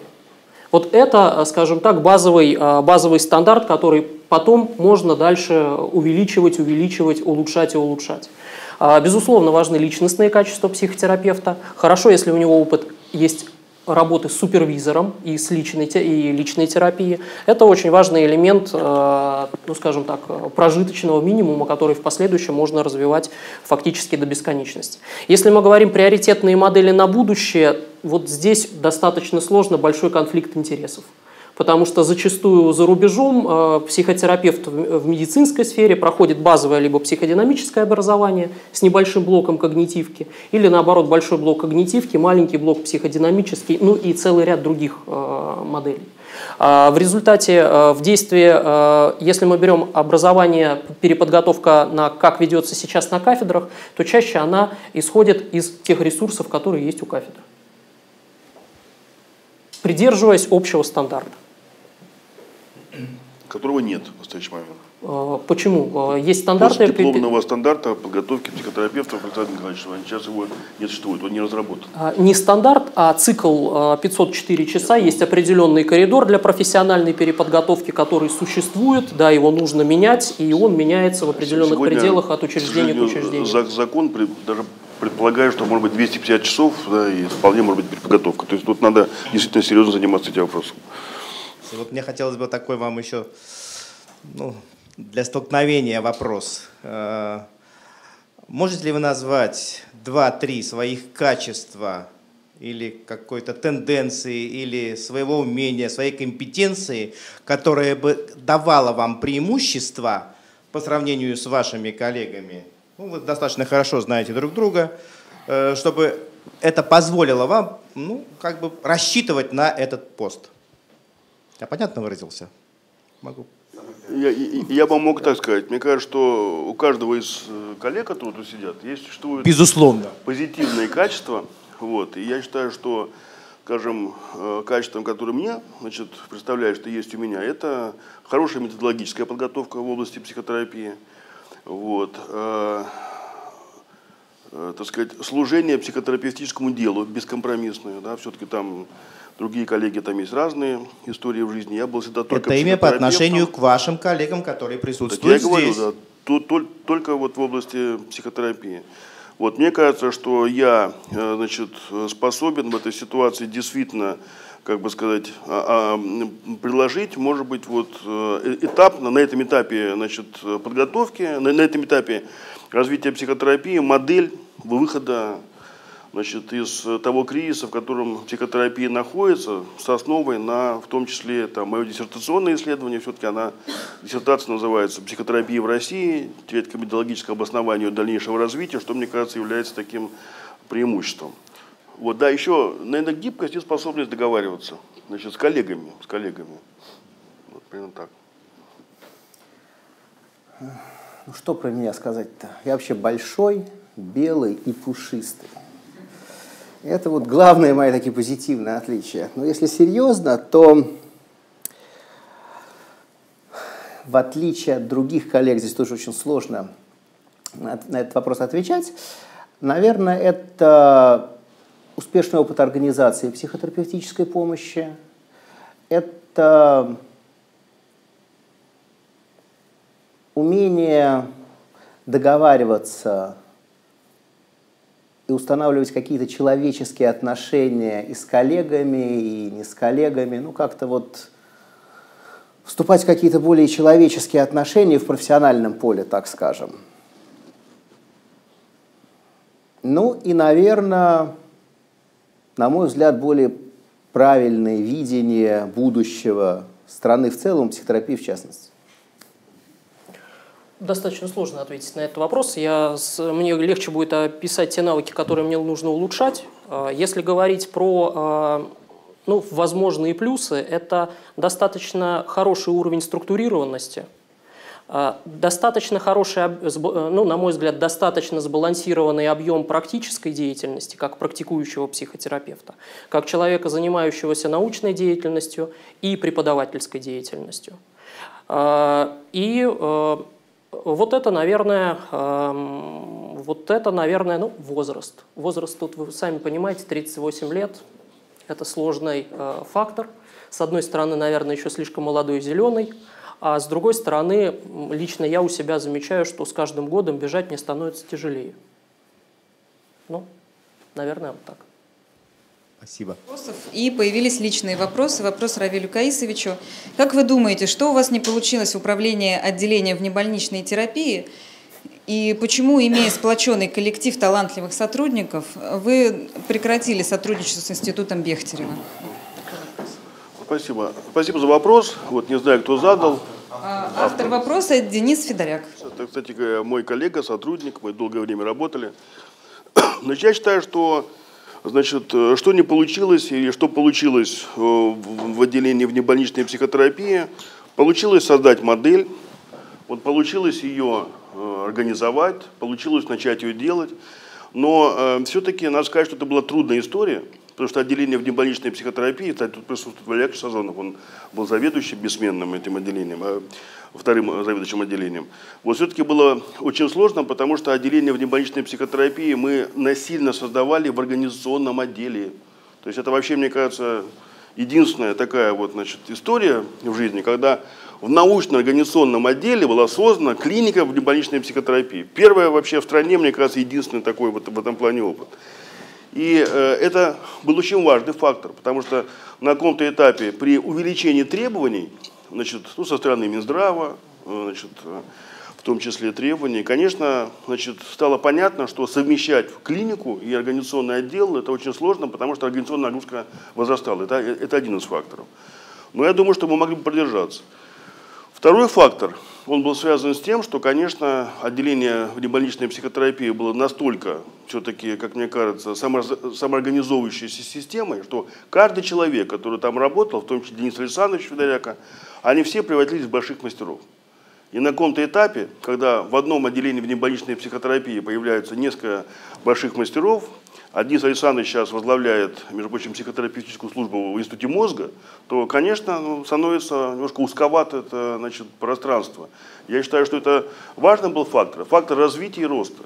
Вот, и с моей точки зрения, я считаю, что это хороший процесс, что это хороший процесс.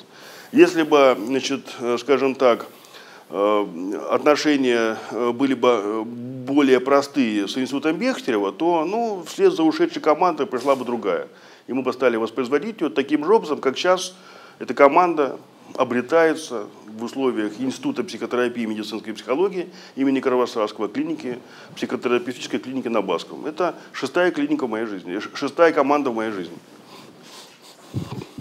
Спасибо, Денис. Позвольте каждому из кандидатов предоставить слово, а, некое обращение, ну, здесь метафорическая у нас небольшая аудитория, но широкая интернет-трансляция, и дальше видеозапись пойдет, э, так сказать, в народные массы, обратиться к своим э, избирателям, э, обратиться к психотерапевтам, психологам, социальным работникам, тем, с кем вам предстоит работать, что вы хотите сказать им, и какие-то, может быть, части вашей такой э, скомпонованной резюме предвыборной программы. Но, если можно, ограничено тремя минутами. Ну, давайте кто-нибудь из вас.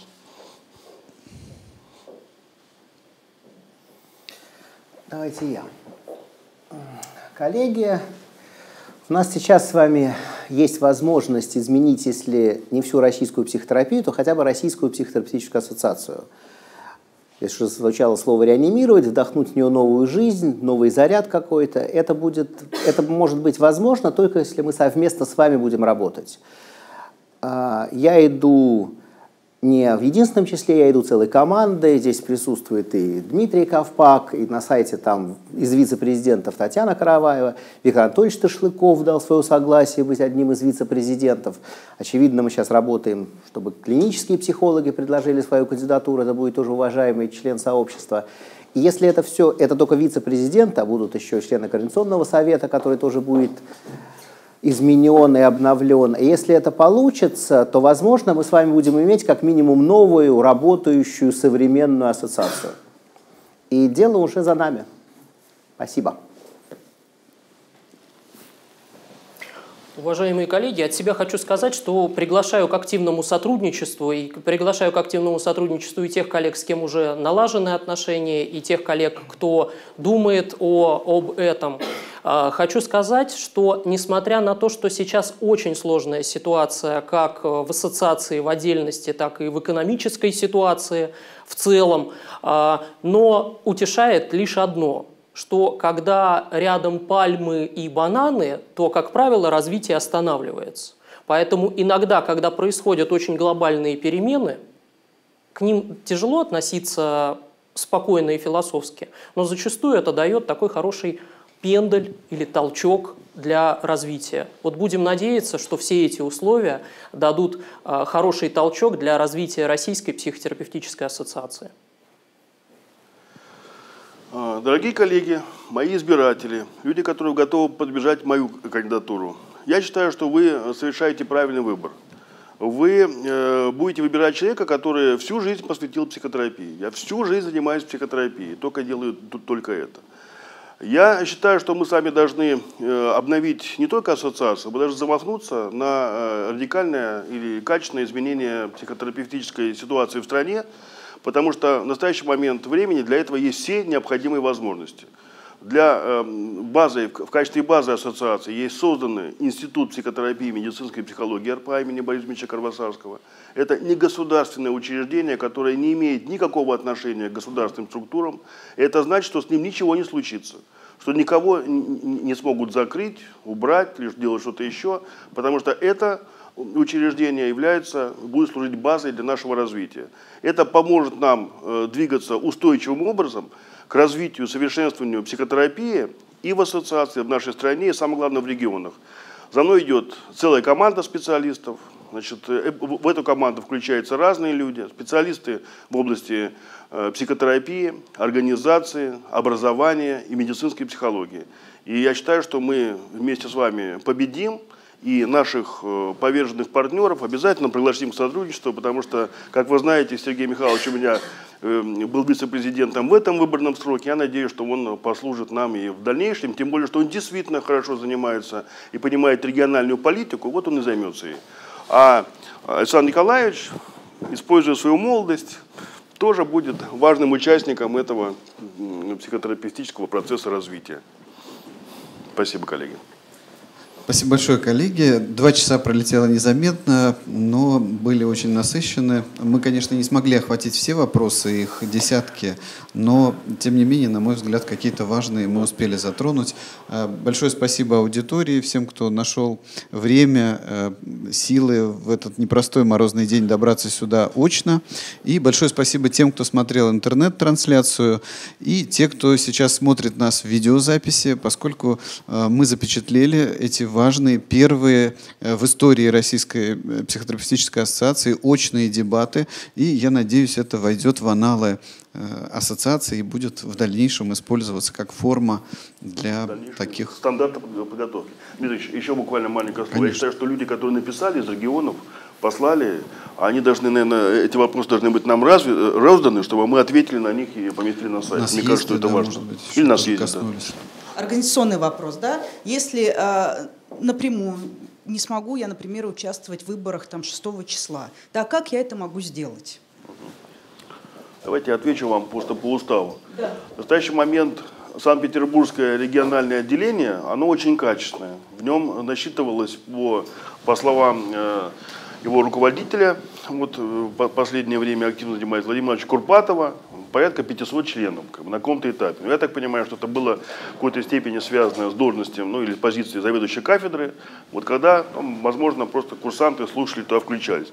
В настоящий момент взносов сдано из э, Санкт-Петербурга на две кандидатуры, которые представляет региональное отделение РПА. Поэтому если вы сдадите достаточное количество взносов, если, например, вот тех из вас, кто сегодня не сдал, заполните анкету. Кстати говоря, хочу сказать о том, что мы договорились о том, что те, кто вступит в РПА до съезда, будут действительными членами с самого начала без всякой значит, э, дополнительной подготовки, ну, так сказать, чтобы эта проблема, не, чтобы это не имело заднего движения, значит, чтобы э, законодательный акт не влиял на другие вещи. Сейчас пока члены едины, это будет самый высокий статус. Поэтому вам прошу обратиться в региональное отделение Владимира Ивановича Курпатову, и, значит, может быть, э, так сказать, они сейчас там решают, кто будет представлять, но у них сегодня пока две квоты только ну, не включая Владимира Ивановича самого, потому что сдано взносов вот на такую сумму.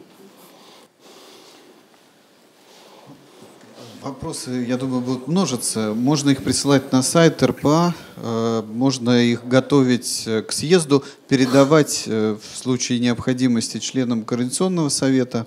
Ну я думаю, мы тоже обсудим, что те, кто сдал членские взносы, но не может технически присутствовать на съезде, возможно, члены Координационного совета каким-то образом смогут эти голоса все-таки внести. Вот если вы будете делегатом от регионального отделения, тогда вы можете доверенность, мы решили так, что вы можете личную доверенность передать кому-нибудь из тех э, людей, которым вы доверяете, членам Координационного совета. Э, простой член э, ассоциации, он лишен права выразить своего голоса. То есть он должен его как-то отдать, сгруппировать, и потом это все будет проголосовано. Это в плане да, развития а, контакта с простыми членами РПА, мне кажется, на это стоит обратить внимание э, с точки зрения даже нашего демократического государства, в котором мы находимся на сегодняшний день. Спасибо большое. Вот. Но я, к сожалению, должен вас огорчить, но все-таки есть принцип вот, выборности, да, то есть, ну, когда как, ну, как обычно, значит, выбирают выборщика, выборщики потом участвуют, там, значит, в США, в других странах, то есть, ну, делегаты голосуют от региональных отделений. А вы, конечно, можете высказать позицию, повлиять на ход избрания. Приходите и скажите, что вы думаете.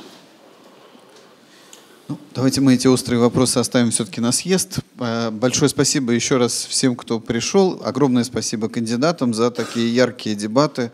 И удачи каждому из вас на предстоящем съезде. Спасибо за активность. Спасибо, господа. Николаевич. Спасибо большое. Спасибо, встречи. Спасибо тебе.